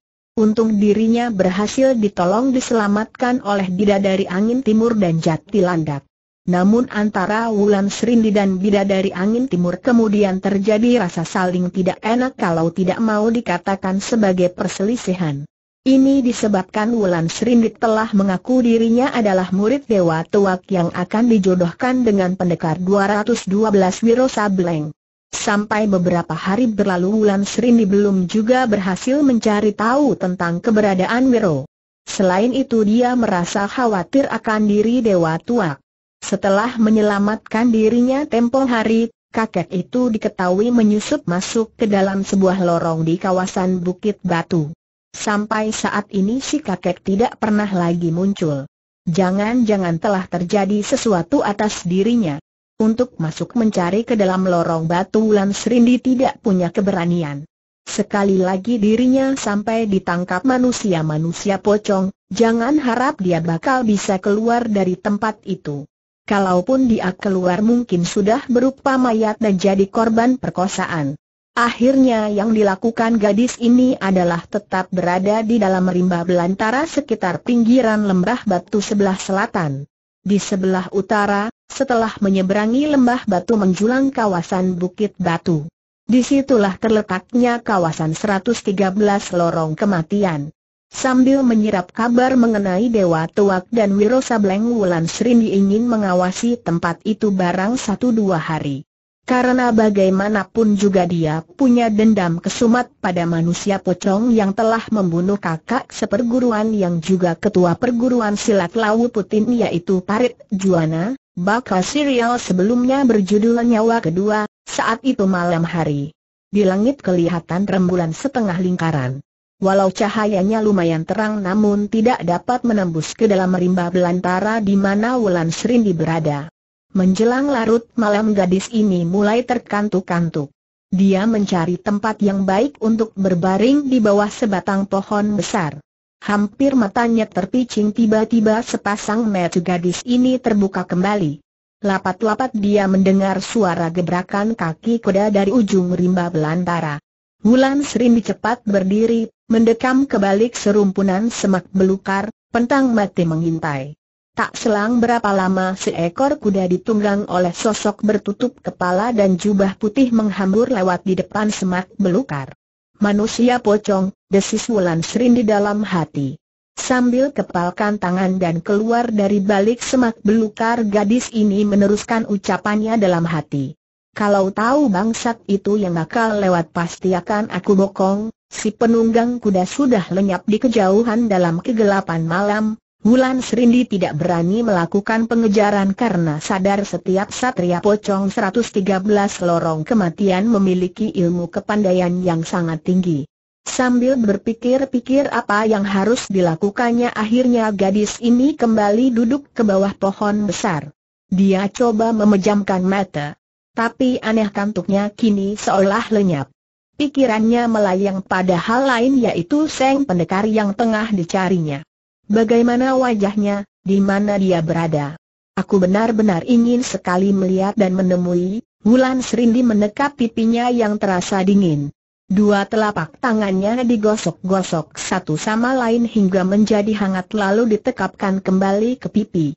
Gadis cantik berkulit hitam manis ini tidak sadar berapa lama dia duduk di bawah pohon sambil menekap wajah begitu rupa. Dia tersentak sewaktu di kejauhan kembali terdengar suara derap kaki kuda.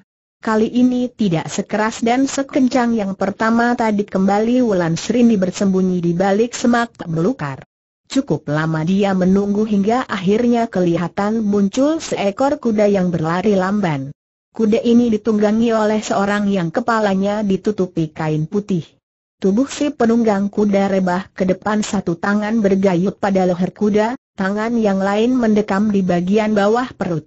Ketika kuda dan penunggang lewat di depan semak belukar, Wulan Srini jadi terperangah dalam kejutnya.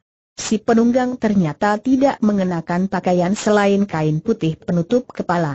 Dari mulutnya keluar suara erangan. Tampak noda darah di sekujur paha dan kaki. Manusia pocong, dia terluka. Apa yang terjadi? Mengapa dia terpencar dari temannya yang tadi baru saja Wulan Serindi berucap dalam hati sekitar sepuluh tombak di depan sana tiba-tiba kuda yang ditunggangi manusia pocong meringkik keras dan angkat dua kaki depan ke atas. Tak ampun manusia pocong yang ada di punggungnya jatuh tersungkur ke tanah, mengerang panjang lalu diam tak berkutik. Entah mati entah pingsan. Wulan Serindi kerenyitkan kening. Mau mendekati, Tengkuknya merinding karena selain kain putih penutup kepala, si manusia pocong tidak mengenakan apa pun. Ah, peduli setan. Mengapa aku harus takut atau jengah? Mungkin dia sudah mampus.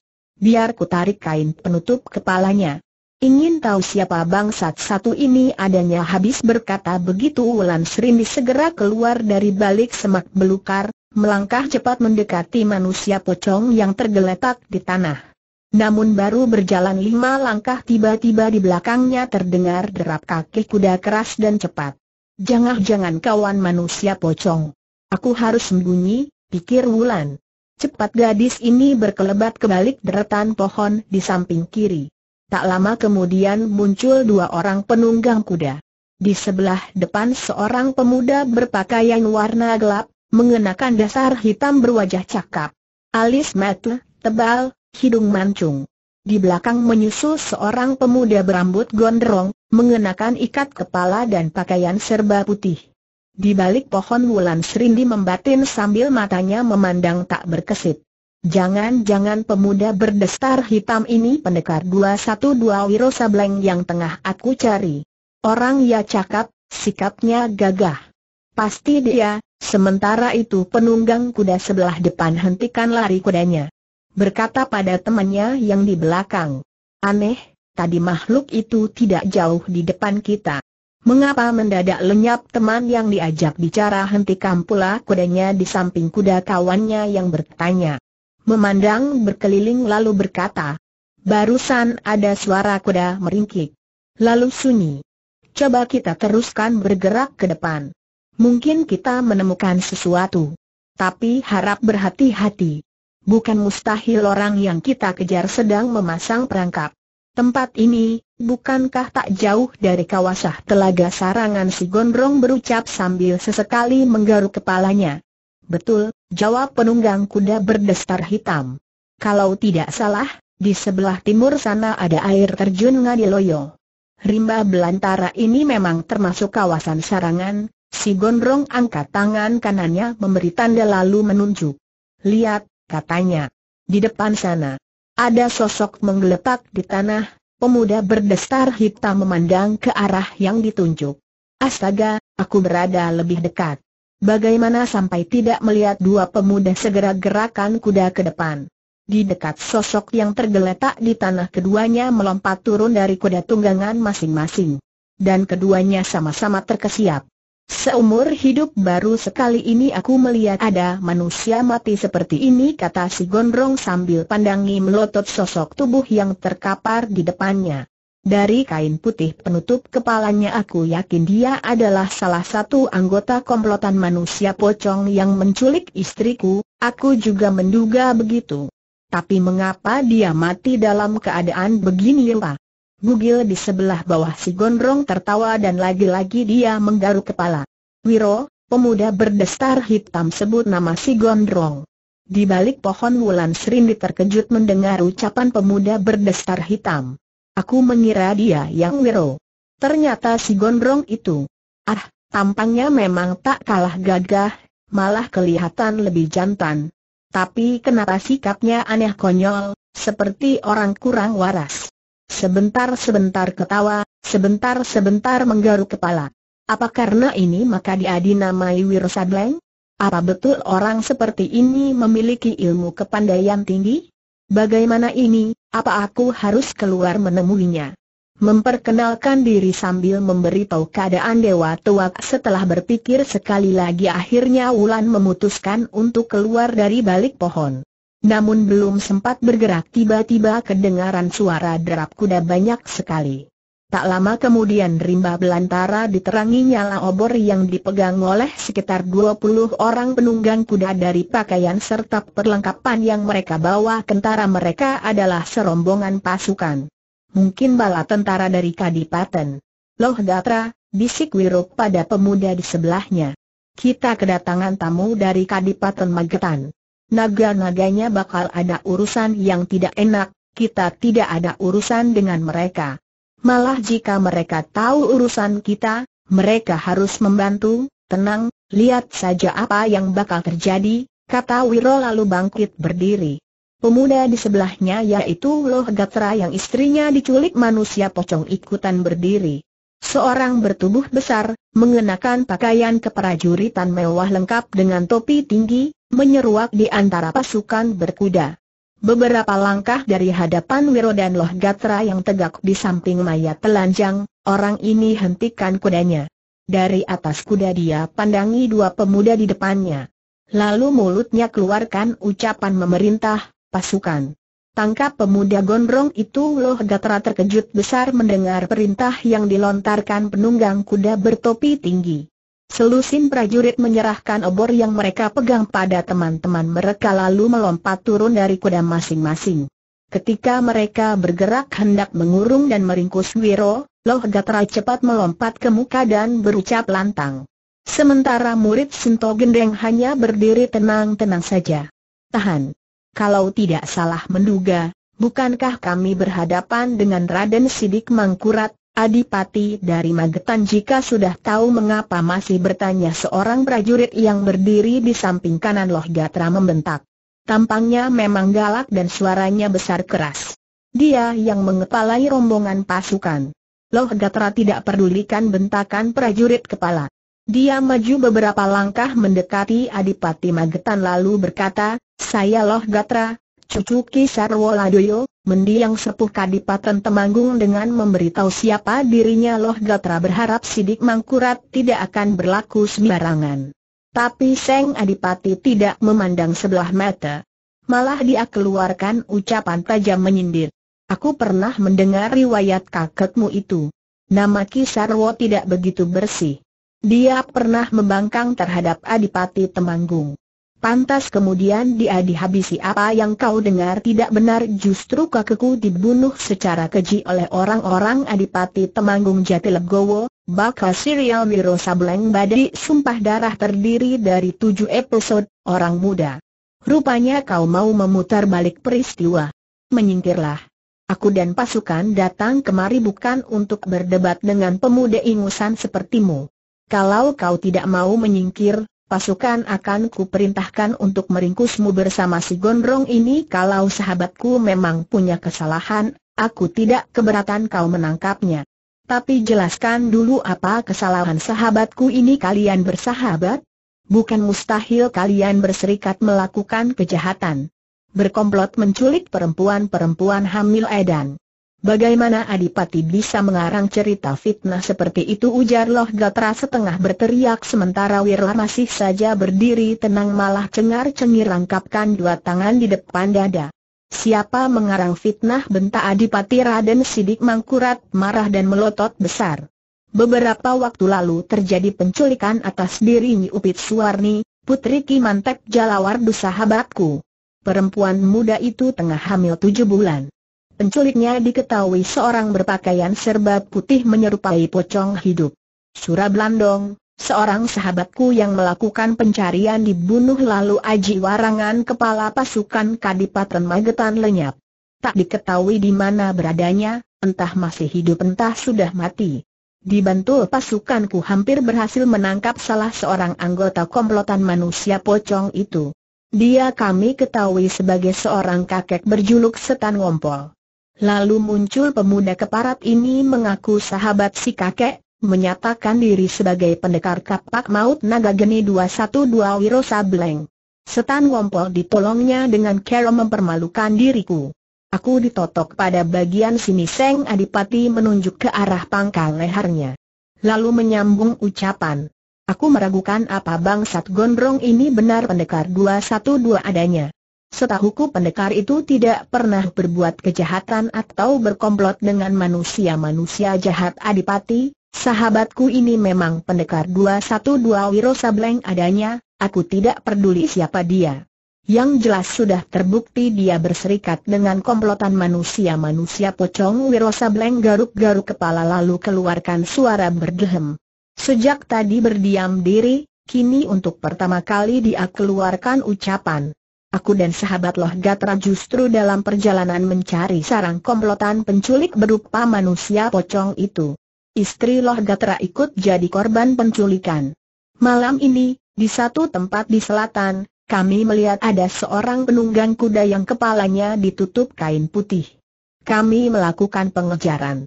Tahu-tahu menemukan manusia pocong ini tergeletak di tempat ini, dalam keadaan kepala atas ditutup kain putih tapi kepala sebelah bawah tersingkap polos. Alias bugil pelontos. Silahkan Adipati menyaksikan sendiri, Wiro pergunakan kaki kiri mendorong hingga sosok manusia pocong terguling dan menungging kaku di depan kuda tunggangan sidik mangkurat. Rahang Seng Adipati menggemung melihat pemandangan yang tidak sedap ini sementara Wiro senyum-senyum dan Loh Gatra ikutan mesem-mesem. Kalian pandai mengarang cerita bentak Adipati Sidik Mangkurat, begitu kepergok lantas saja mengatakan mengejar manusia pocong. Padahal manusia pocong itu adalah kawan kalian. Mungkin dia dalam keadaan celaka dan tadi pasti kalian tengah hendak menolong menyelamatkannya loh Gatra marah besar mendengar ucapan Adipati Magetan itu. Wira menyeringai. Sambil garuk kepala dia berkata, kalau tidak percaya manusia pocong ini bukan sahabat kami, buka saja kain penutup kepalanya. Nanti bakal ketahuan siapa dia dengan rahang kaku menggembung menahan marah yang menggelegak Adipati Magetan berkata. Kurang ajar. Beraninya kau memerintah diriku jika tidak mau, biar aku sendiri yang membuka kain penutup kepalanya enak saja dengan tangan kirinya Wiro merampas obor yang dipegang seorang prajurit kadipaten. Obor itu bukan didekatkan ke kepala tapi diarahkan ke pantat manusia pocong yang tergeletak di tanah setengah menungging karena saat itu tubuhnya telah kaku. Adipati, lihat baik-baik. Apa kau mengenali orang ini dari bokongnya habis berkata Wiro lebih mendekatkan obor ke pantat mayat, memandang ke arah sidik mangkurat lalu tertawa gelak-gelak. Loh Gatra yang tidak bisa menahan geli ikutan tertawa. Seorang prajurit bersenjatakan golok yang tak dapat menahan marahnya langsung menyerbu, bacokan senjata ke kepala Wiro. Tapi dari samping Loh Gatra hantamkan satu jotosan ke dada orang hingga prajurit ini mencelat mental, muntah darah lalu bergedebuk di tanah tak berkutik lagi. Belasan prajurit di tempat itu menjadi geger, marah luar biasa. Terlebih sidik mangkurat. Dia berteriak memberi perintah. Pasukan bunuh dua pemuda itu. Cincang mereka sampai lumat tahan. Tunggu dulu teriak pendekar 212 Wiro Sableng. Dia sengaja kerahkan tenaga dalam hingga suaranya menggeledek dan tanah terasa bergetar. Beberapa ekor kuda meringkik ketakutan. Para prajurit yang hendak menyerang termasuk Seng Adipati sendiri jadi terkesiap. Luar biasa, belum pernah aku melihat orang memiliki kekuatan tenaga dalam dengan pengaruh sehebat ini. Siapa pemuda gondrong ini sebenarnya diam-diam Adipati Sidik Mangkurat berkata dalam hati. Selagi semua orang terhenyak-hening, Wiro lantas pergunakan kesempatan untuk bicara dan kembali permainkan Adipati itu. Adipati, kalau dari pantat kau tidak bisa mengenali, Apakah kau bisa mengenali dari sebelah sini dengan kaki kirinya Wiro dorong mayat manusia pocong hingga terjungkir dan terlentang di tanah, dua kaki setengah terangkat menghadap ke arah Adipati Sidik Mangkurat. Wiro dekatkan obor ke bagian bawah perut mayat manusia pocong yang terpentang polos. Sambil senyum-senyum dia bertanya, Adipati, dari bagian yang satu ini, Apakah kau masih belum mengenali siapa adanya manusia pocong ini untuk seketika mau tak mau sidik mangkurat jadi tercekat ngeri melihat tubuh bagian bawah orang yang hancur berlumuran darah namun di lain saat adipati ini keluarkan bentakan menggeledek. Jahanam kurang ajar kali ini adipati magetan benar-benar tidak dapat lagi menahan amarahnya. Sambil melompat dari kuda, kaki kanannya ditendangkan ke arah kepala Wiro. Sementara tangan kanan bergerak mencabut sebilah pedang yang tergantung di pinggang lalu dibabatkan ke arah kepala Wiro.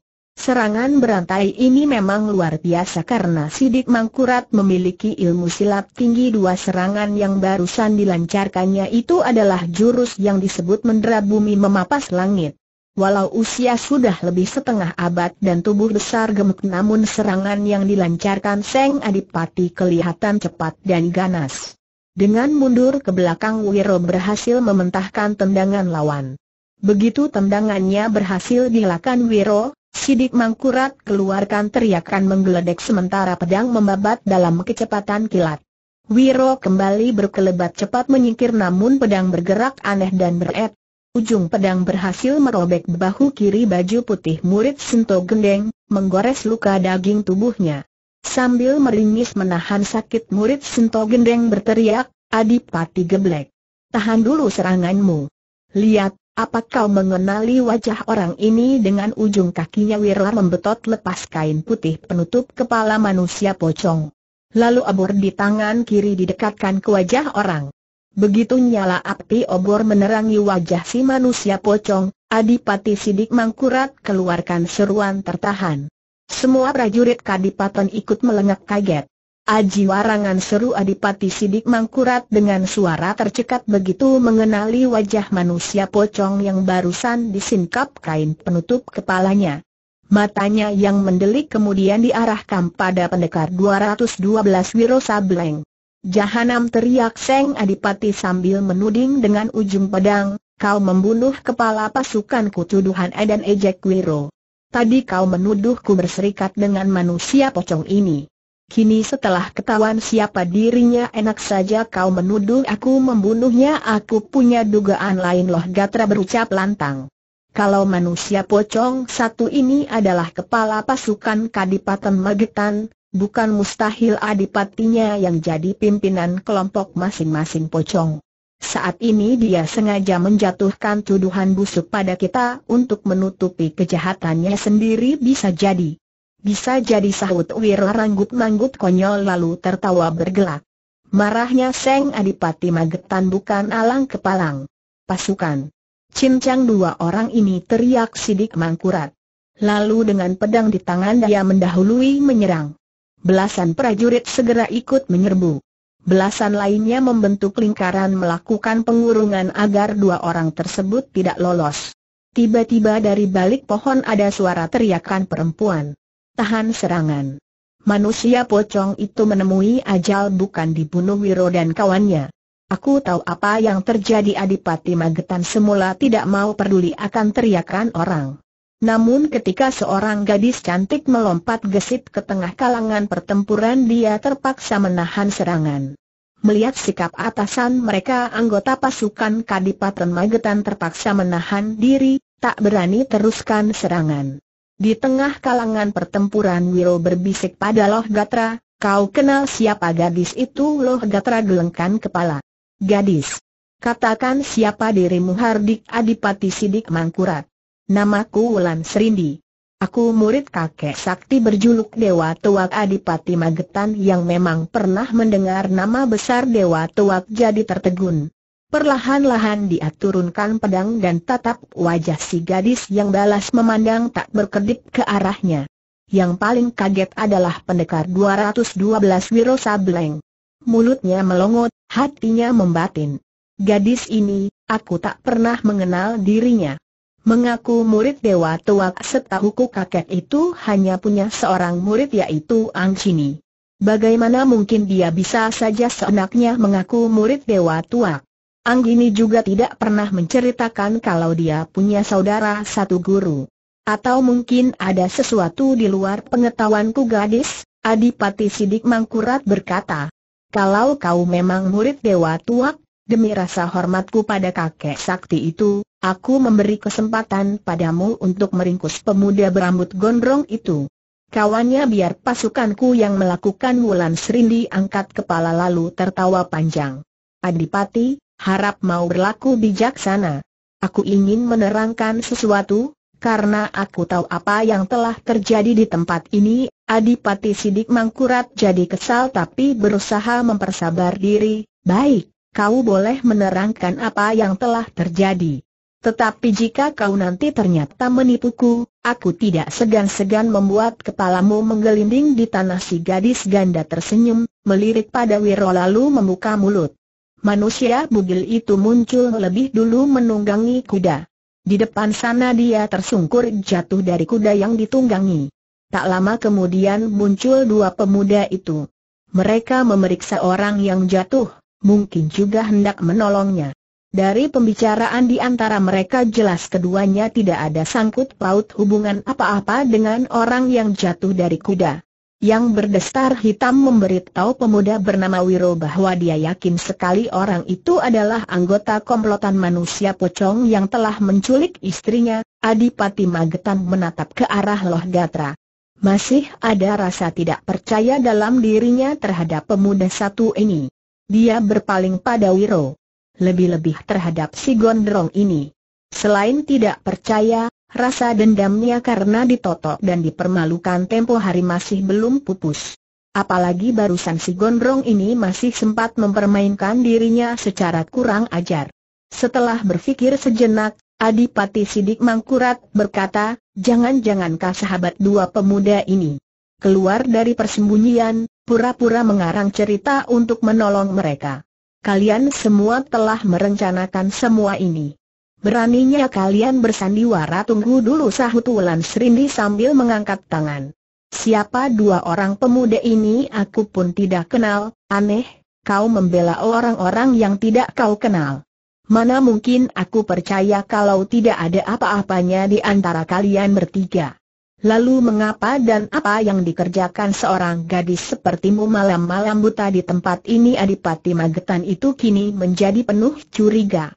Supaya tidak terjadi kesalahpahaman berkepanjangan, saya akan beri penjelasan, kata Wulan Serindi pula.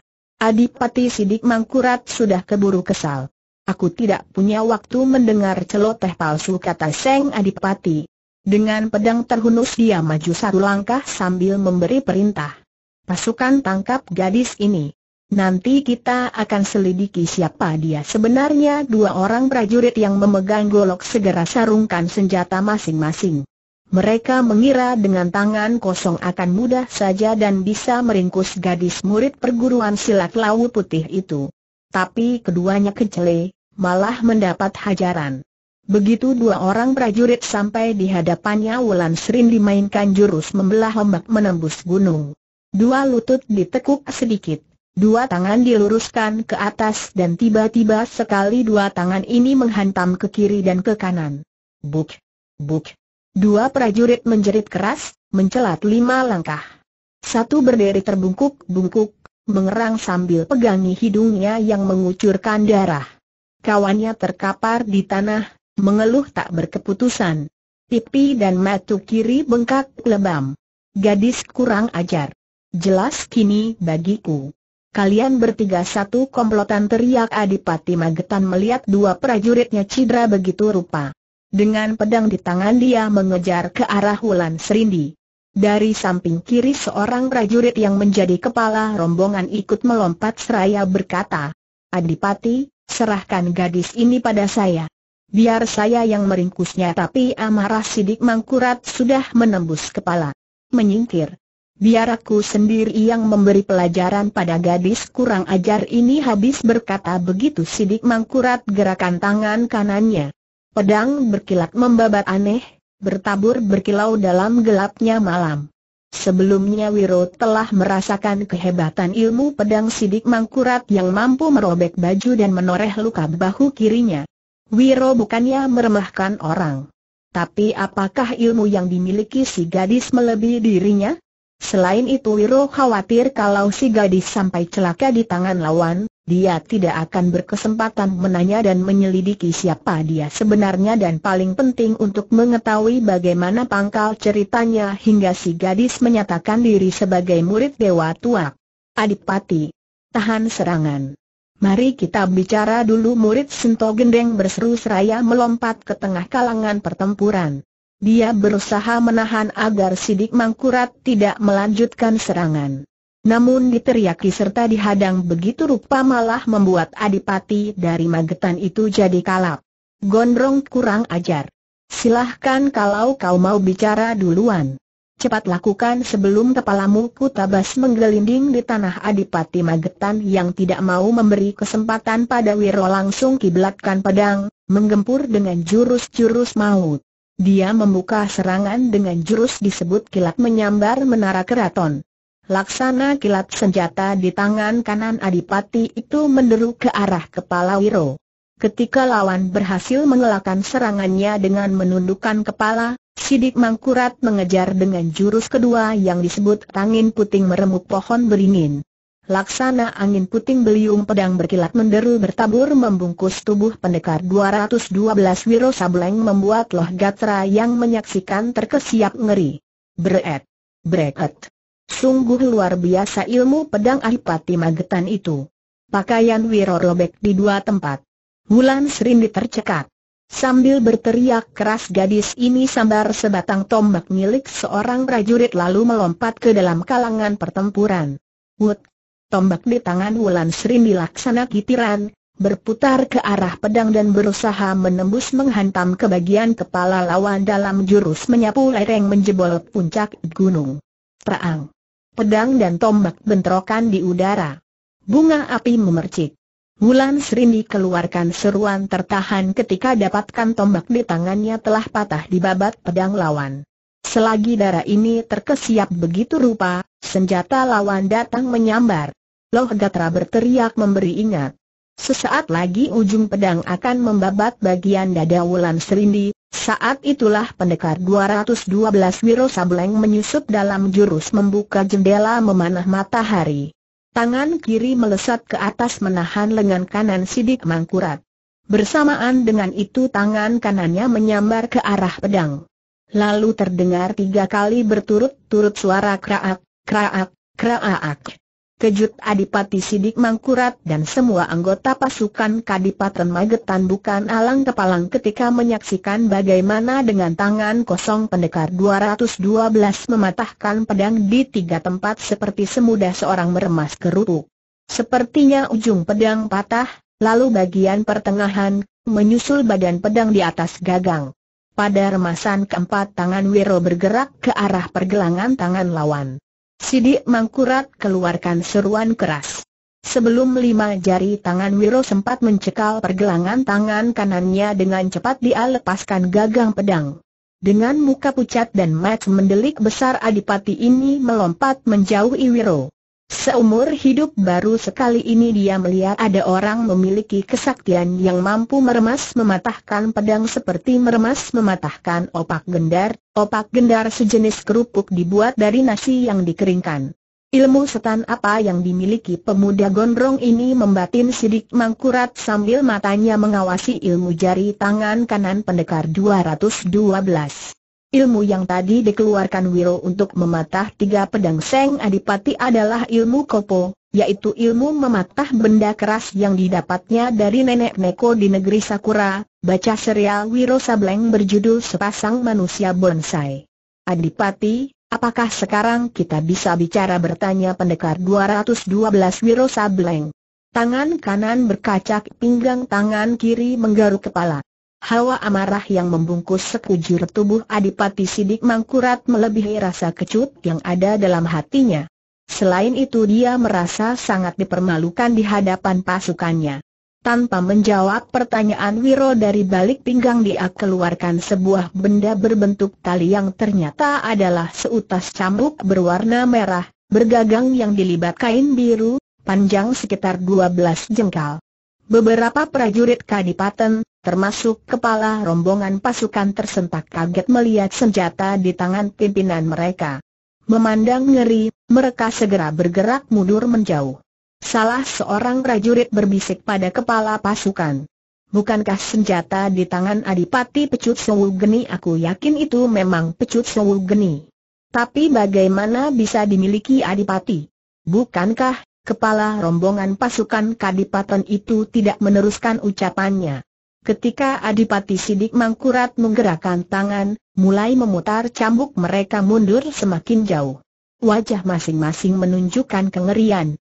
Semula Wiro menaruh enteng senjata di tangan lawan yang dianggapnya tidak lebih dari sebuah cambuk butut bendera lembu atau kuda. Namun matanya menangkap peraut ketakutan beberapa prajurit kadipaten yang melangkah menjauhi. Hal ini juga dilihat oleh Loh Gatra yang segera berbisik pada Wiro. Senjata di tangan Adipati itu agaknya bukan sembarangan. Hati-hati.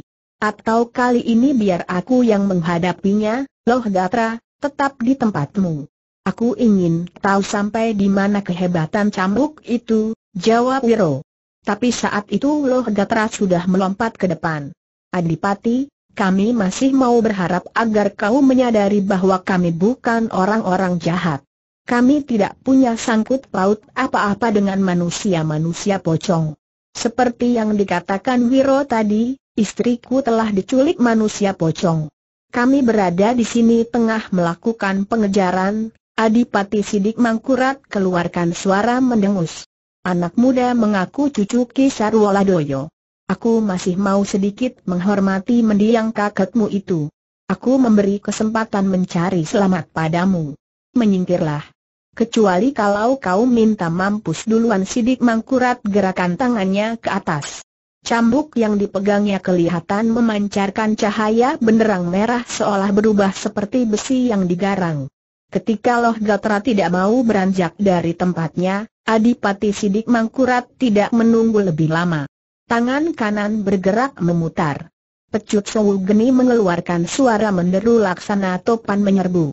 Bersamaan dengan itu nyala merah pada sekujur cambuk berubah menjadi api. Ketika cambuk membabat terdengar suara letupan-letupan keras. Kobaran lidah api luar biasa banyaknya menyambar ke arah Loh Gatra. Wut! Wus! Wus! Wus! Loh Gatra! Awas teriak Wirosraya menarik tangan sahabatnya itu. Namun enam dari sekian banyak kobaran lidah api aneh masih sempat menyambar tubuhnya sebelah kanan. Pakaiannya serta merta ditambus api. Loh Gatra keluarkan jeritan keras, jatuhkan diri di tanah lalu berguling berusaha memadamkan api. Adipati Keparat. Kejahatan apa yang telah kami perbuat hingga tega-teganya kau menjatuhkan tangan keji terhadap sahabatku pendekar 212 Wiro Sableng berteriak marah, melompat ke depan, siap menerkam sidik mangkurat. Tangan kiri membuat gerak jurus tameng sakti menerpa hujan untuk membentengi diri dari serangan api cambuk yang ganas. Tangan kanan melancarkan serangan dalam jurus benteng topan melanda samudra. Pukulan sakti ini sangat mematikan. Selain itu juga mengeluarkan angin deras yang sekaligus diharapkan dapat menghalau datangnya serangan api yang keluar dari pecut Sowu Geni. Wajah Adipati Sidik Mangkurat menyeringai garang. Rahang menggembung. Tangan kanannya menghantam.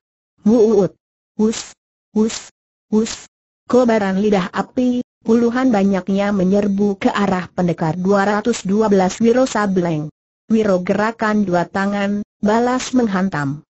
Tangan kiri membentengi diri, tangan kanan lancarkan serangan mengeluarkan angin deras. Suara letupan-letupan keras menggelegar di tempat itu tembus teriak Adipati Sidik Mangkurat.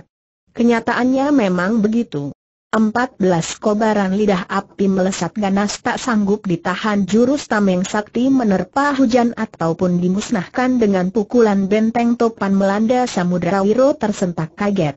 Tidak percaya serangan cambuk api lawan sanggup menembus dua kekuatan hawa sakti pertahanan dan serangan. Wulan Serindi berteriak pucat. Pada saat yang luar biasa menegangkan itu tiba-tiba terjadi hal tidak terduga. Di langit sebelah timur, dalam gelapnya malam mendadak ada satu nyala putih. Nyala ini bergerak ke arah rimba belantara, begitu cepatnya dan kurang dari sekejapan mata, telah berada di tempat itu. Benda putih menyala ini ternyata adalah sosok seorang berjubah dan bersorban putih berkilat. Laksana seekor elang, Orang ini menukik ke arah Adipati Sidik Mangkurat. Dua lengan jubah dikebutkan. Dua gelombang cahaya biru disertai sambaran angin luar biasa dinginnya menerpa. Puluhan kobaran lidah api serta merta padam. Pendekar 212 Wiro Sableng lolos dari serangan ganas yang bisa membakar dirinya seperti kejadian dengan Loh Gatra. Sidik Mangkurat sendiri terjajar sampai empat langkah. Begitu dia berhasil mengimbangi diri, pecut Sewugeni sudah tak ada lagi di tangan kanannya. Dia memandang berkeliling. Orang yang barusan merampas pecut Sewugeni masih berada di tempat itu. Dia tidak berdiri di tanah tapi memilih tegak di salah satu cabang pohon. Cabang pohon ini hanya sebesar pergelangan tangan. Jika orang itu bisa berdiri di atas cabang itu, pastilah dia memiliki ilmu meringankan tubuh luar biasa. Wiro yang barusan terselamatkan ikut memandang ke arah pohon. Orang yang berdiri di atas pohon itu ternyata seorang kakek berjubah dan bersorban putih berkilat. Janggut serta kumis putih lebat tapi rapi menghias wajahnya yang bersih. Pecut sewegeni digulungkan ke tangan kanannya. Cambuk ini kini berada dalam bentuk dan warnanya semula. Tak ada lagi bagian yang menyala seperti besi digarang. Ketika memperhatikan kakek di cabang pohon, wajah Adipati Sidik Mangkurat berubah, dadanya bergetar, hatinya tidak enak, orang tua di atas pohon. Mengapa kau merampas cambuk milikku Adipati Sidik Mangkurat menegur dengan suara keras. Aha si kakek menjawab teguran orang sambil acungkan pecut geni. Jadi pecut geni, pecut seribu api ini adalah milikmu. Maaf, aku tak pernah menduga sebelumnya, si kakek tersenyum, 52 purnama aku mencari. Malam ini baru aku bisa menemukan senjata sakti mandraguna milik pewaris di tanah seberang. Adipati Sidik Mangkurat, Aku tidak menuduhmu mencuri tapi bertanya-tanya bagaimana cambuk milik orang lain ini bisa berada di tanganmu. Saat kau harus sudah cukup puas selama 52 purnama senjata ini berada di tanganmu. Saatnya senjata ini dikembalikan ke tempat asalnya. Aku tidak menjatuhkan hukuman apa pun padamu asalkan kau mau bertobat dan segera meninggalkan tempat ini.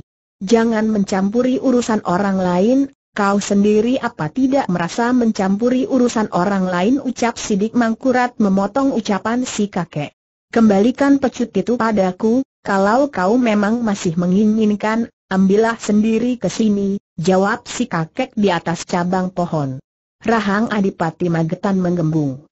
Sekali dia menekan dua telapak tangan ke tanah, tubuhnya yang besar itu melesat ke cabang pohon. Di atas pohon si kakek berjubah dan bersorban putih tersenyum. Dia kembangkan tangan kanannya lalu dikipas-kipaskan seraya berkata, aneh, malam buta begini mengapa udara terasa panas, ketika tangan si kakek mengipas, sosok Adipati Sidik Mangkurat yang tengah melesat ke arah pohon mendadak terpental kian kemari hingga akhirnya jatuh bergedebuk ke tanah. Topi tingginya mencelat mentah ke mana. Hai, Aku sudah menunggu, apakah kau tidak jadi mengambil pecut geni ini? Astaga, kau malah enak-enakan tiduran di tanah. Sayang pakaianmu yang bagus, si kakek memandang ke arah sidik mangkurat lalu tertawa mengekeh. Dalam keadaan sekujur tubuh sakit adipati itu mencoba bangkit. Terbungkuk-bungkuk menahan sakit dia naik ke atas kudanya, memberi isyarat pada prajurit kepala lalu tinggalkan tempat itu. Di atas pohon kakek bersorban dan berjubah putih berkilat hendak bergerak pergi. Namun batalkan niatnya sewaktu pandangannya membentur sosok Loh Gatra yang terkapar di tanah wajah dan tubuhnya sebelah kanan mengalami luka bakar cukup parah. Saat itu Loh Gatra berusaha bangkit ditolong oleh Wiro. Kakek di atas pohon melayang turun. Matanya yang kecil tajam pandangi wajah serta bagian tubuh Loh Gatra yang terbakar lalu geleng-gelengkan kepala. Kakek ini buka libatan pecut geni di tangannya. Gagang pecut diletakkan di atas kepala, cambuk dibiarkan menjuntai melewati wajah serta bagian tubuh yang menderita luka bakar. Asal cambuk kembali kepada cambuk.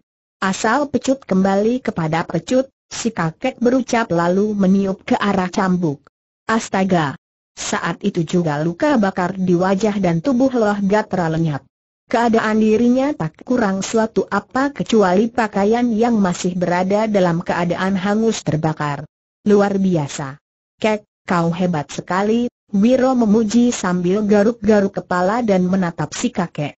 Orang tua yang ditatap balas memandang tersenyum dan kedipkan mata kirinya pada pendekar 212 Wiro Sableng. Bersamaan dengan itu tubuhnya diputar. Sekali dia berkelebat sosoknya lenyap dari tempat itu. Wiro leletkan tidak, geleng-geleng kepala. Aku tak kenal siapa adanya kakek hebat itu, aku malah tak sempat mengucapkan terima kasih padanya, Ucap Loh Gatra sambil usap-usap wajahnya setengah tidak percaya. Tiba-tiba di kejauhan ada suara derap kaki kuda. Makin cepat makin keras dan mendatangi ke tempat orang-orang itu berada. Tak lama kemudian dalam gelapnya malam kelihatan seorang penunggang kuda berjubah dan bertutup kepala putih. Gerakannya menunggang kuda aneh sekali. Sebentar dia tak kelihatan, di lain saat sudah ada di sebelah kiri atau jurusan kanan. Manusia pocong ujar Wulan Serindi. Di depan sana kuda dan penunggang lenyap kembali. Wulan Serindi putar tubuhnya. Tiba-tiba gadis ini berteriak. Awas serangan membokong Wiro berbalik. Wiro awas teriak Wulan Serindi. Tapi terlambat. Pendekar 212 Wiro Sableng hanya sempat melihat sebuah benda melesat di kegelapan malam. Ada cairan menyiprat. Lalu dia merasakan perih amat sangat di dadanya. Ketika dia memperhatikan ternyata di situ telah menancap sebuah bendera aneh, berbentuk segitiga dan basah oleh cairan berwarna merah. Bendera darah, desis Wulan Serindi dengan suara bergetar. Wiro menggigit bibir menahan sakit, kurang ajar. Siapa yang punya pekerjaan ini, pasti manusia pocong tadi. Aku akan melakukan pengejaran, kata Loh Gatra. Jangan ke mana-mana. Aku curiga serangan membokong ini hanya jebakan belaka. Wiro pejamkan mata. Menjajaki mencari tahu, panah ini tidak beracun. Kalau beracun aku pasti bisa merasakan atau mungkin hawa sakti kapak naga geni 212 telah memusnahkan, Wiro kembali menggigit bibir.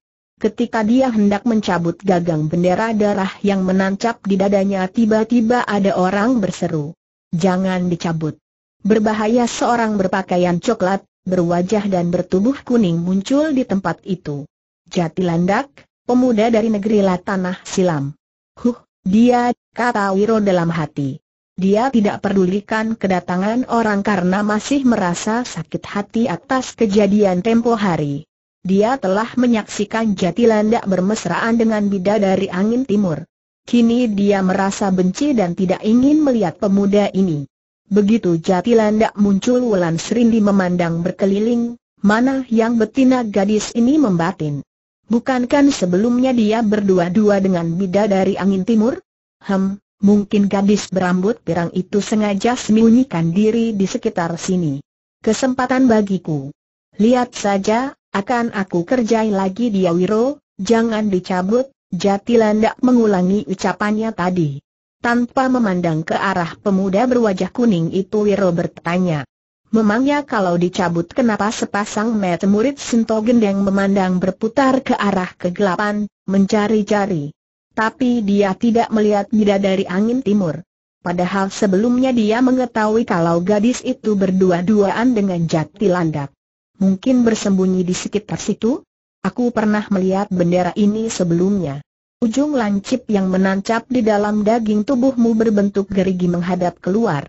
Jika gagang bendera dicabut, daging di sekitarnya akan ikut terbongkar. Sebesar ini, Jati Landak membuat lingkaran dengan dua ibu jari dan dua jari tengah tangan kiri kanan. Gila. Sialan maki Wiro. Aku tidak percaya.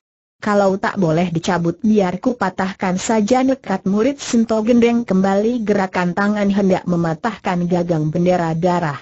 Tapi satu tangan halus memegang lengannya mencegah.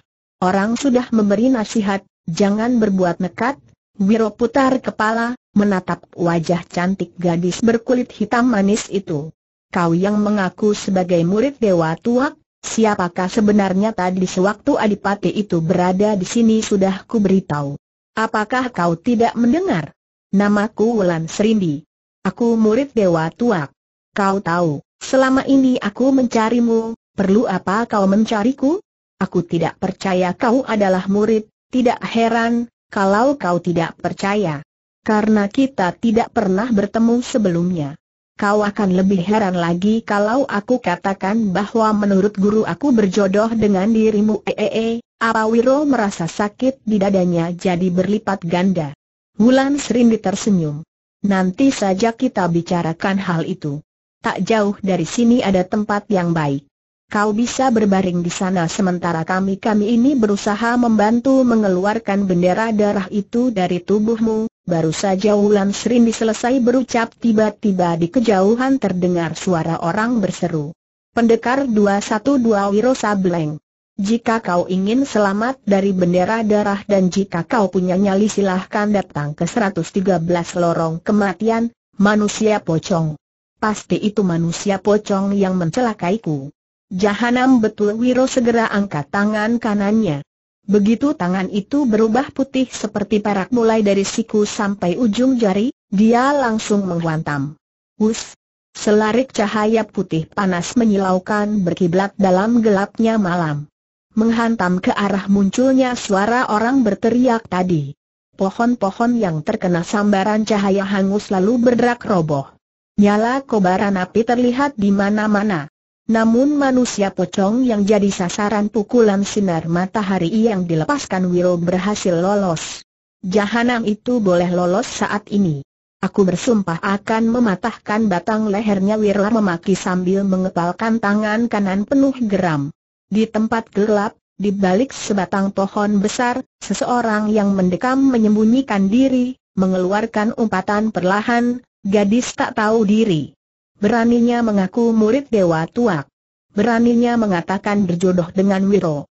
Lihat saja, aku bersumpah satu saat akan menampar mulutmu, sahabatku, siapa orang malang yang hendak kau jadikan sasaran tamparanmu. Mudah-mudahan bukan diriku. Aduh, bisa-bisa kencingku munkrat semua. Saat ini saja belum apa-apa sudah mau luber rasanya. Hik, hik, hik, tiba-tiba satu suara bertanya. Orang yang sembunyi di balik pohon tersentak kaget. Dia mencium bau pesing. Cepat palingkan kepala. Dia melihat kepala berambut tipis nyaris gundul, sepasang telinga berdaun lebar yang salah satunya terbalik. Lalu sepasang mata belok yang dikedap-kedipkan. Kau, jangan dekat-dekat. Aku tidak mau celanamu yang basah air kencing menyentuh pakaian atau tubuhku, aku tahu diri, jawab orang yang barusan datang. Aku juga takut bersentuhan dengan dirimu. Bisa-bisa bukan air kencing yang keluar tapi air yang lain. Hik, hik, hik, tua bangka sinting. Aku sedang kesal sakit hati. Jangan bicara jorok amboy, gerangan apa yang mengesalkan hatimu. Putus bercinta, ditinggal kekasih atau kakek brengsek. Sudah. Tutup mulutmu. Lihat ke depan sana astaga. Yang satu itu bukankah dia si anak setan murid Sinto Gendeng? Eh, anak sableng itu dia memakai apa di dadanya bukan memakai apa. Dia barusan dibokong orang dengan bendera darah astaga. Siapa yang membokong manusia pocong ser? Mendengar disebutnya nama itu langsung kakek bau pesing yang bukan lain setan ngompol adanya kucurkan air kencing.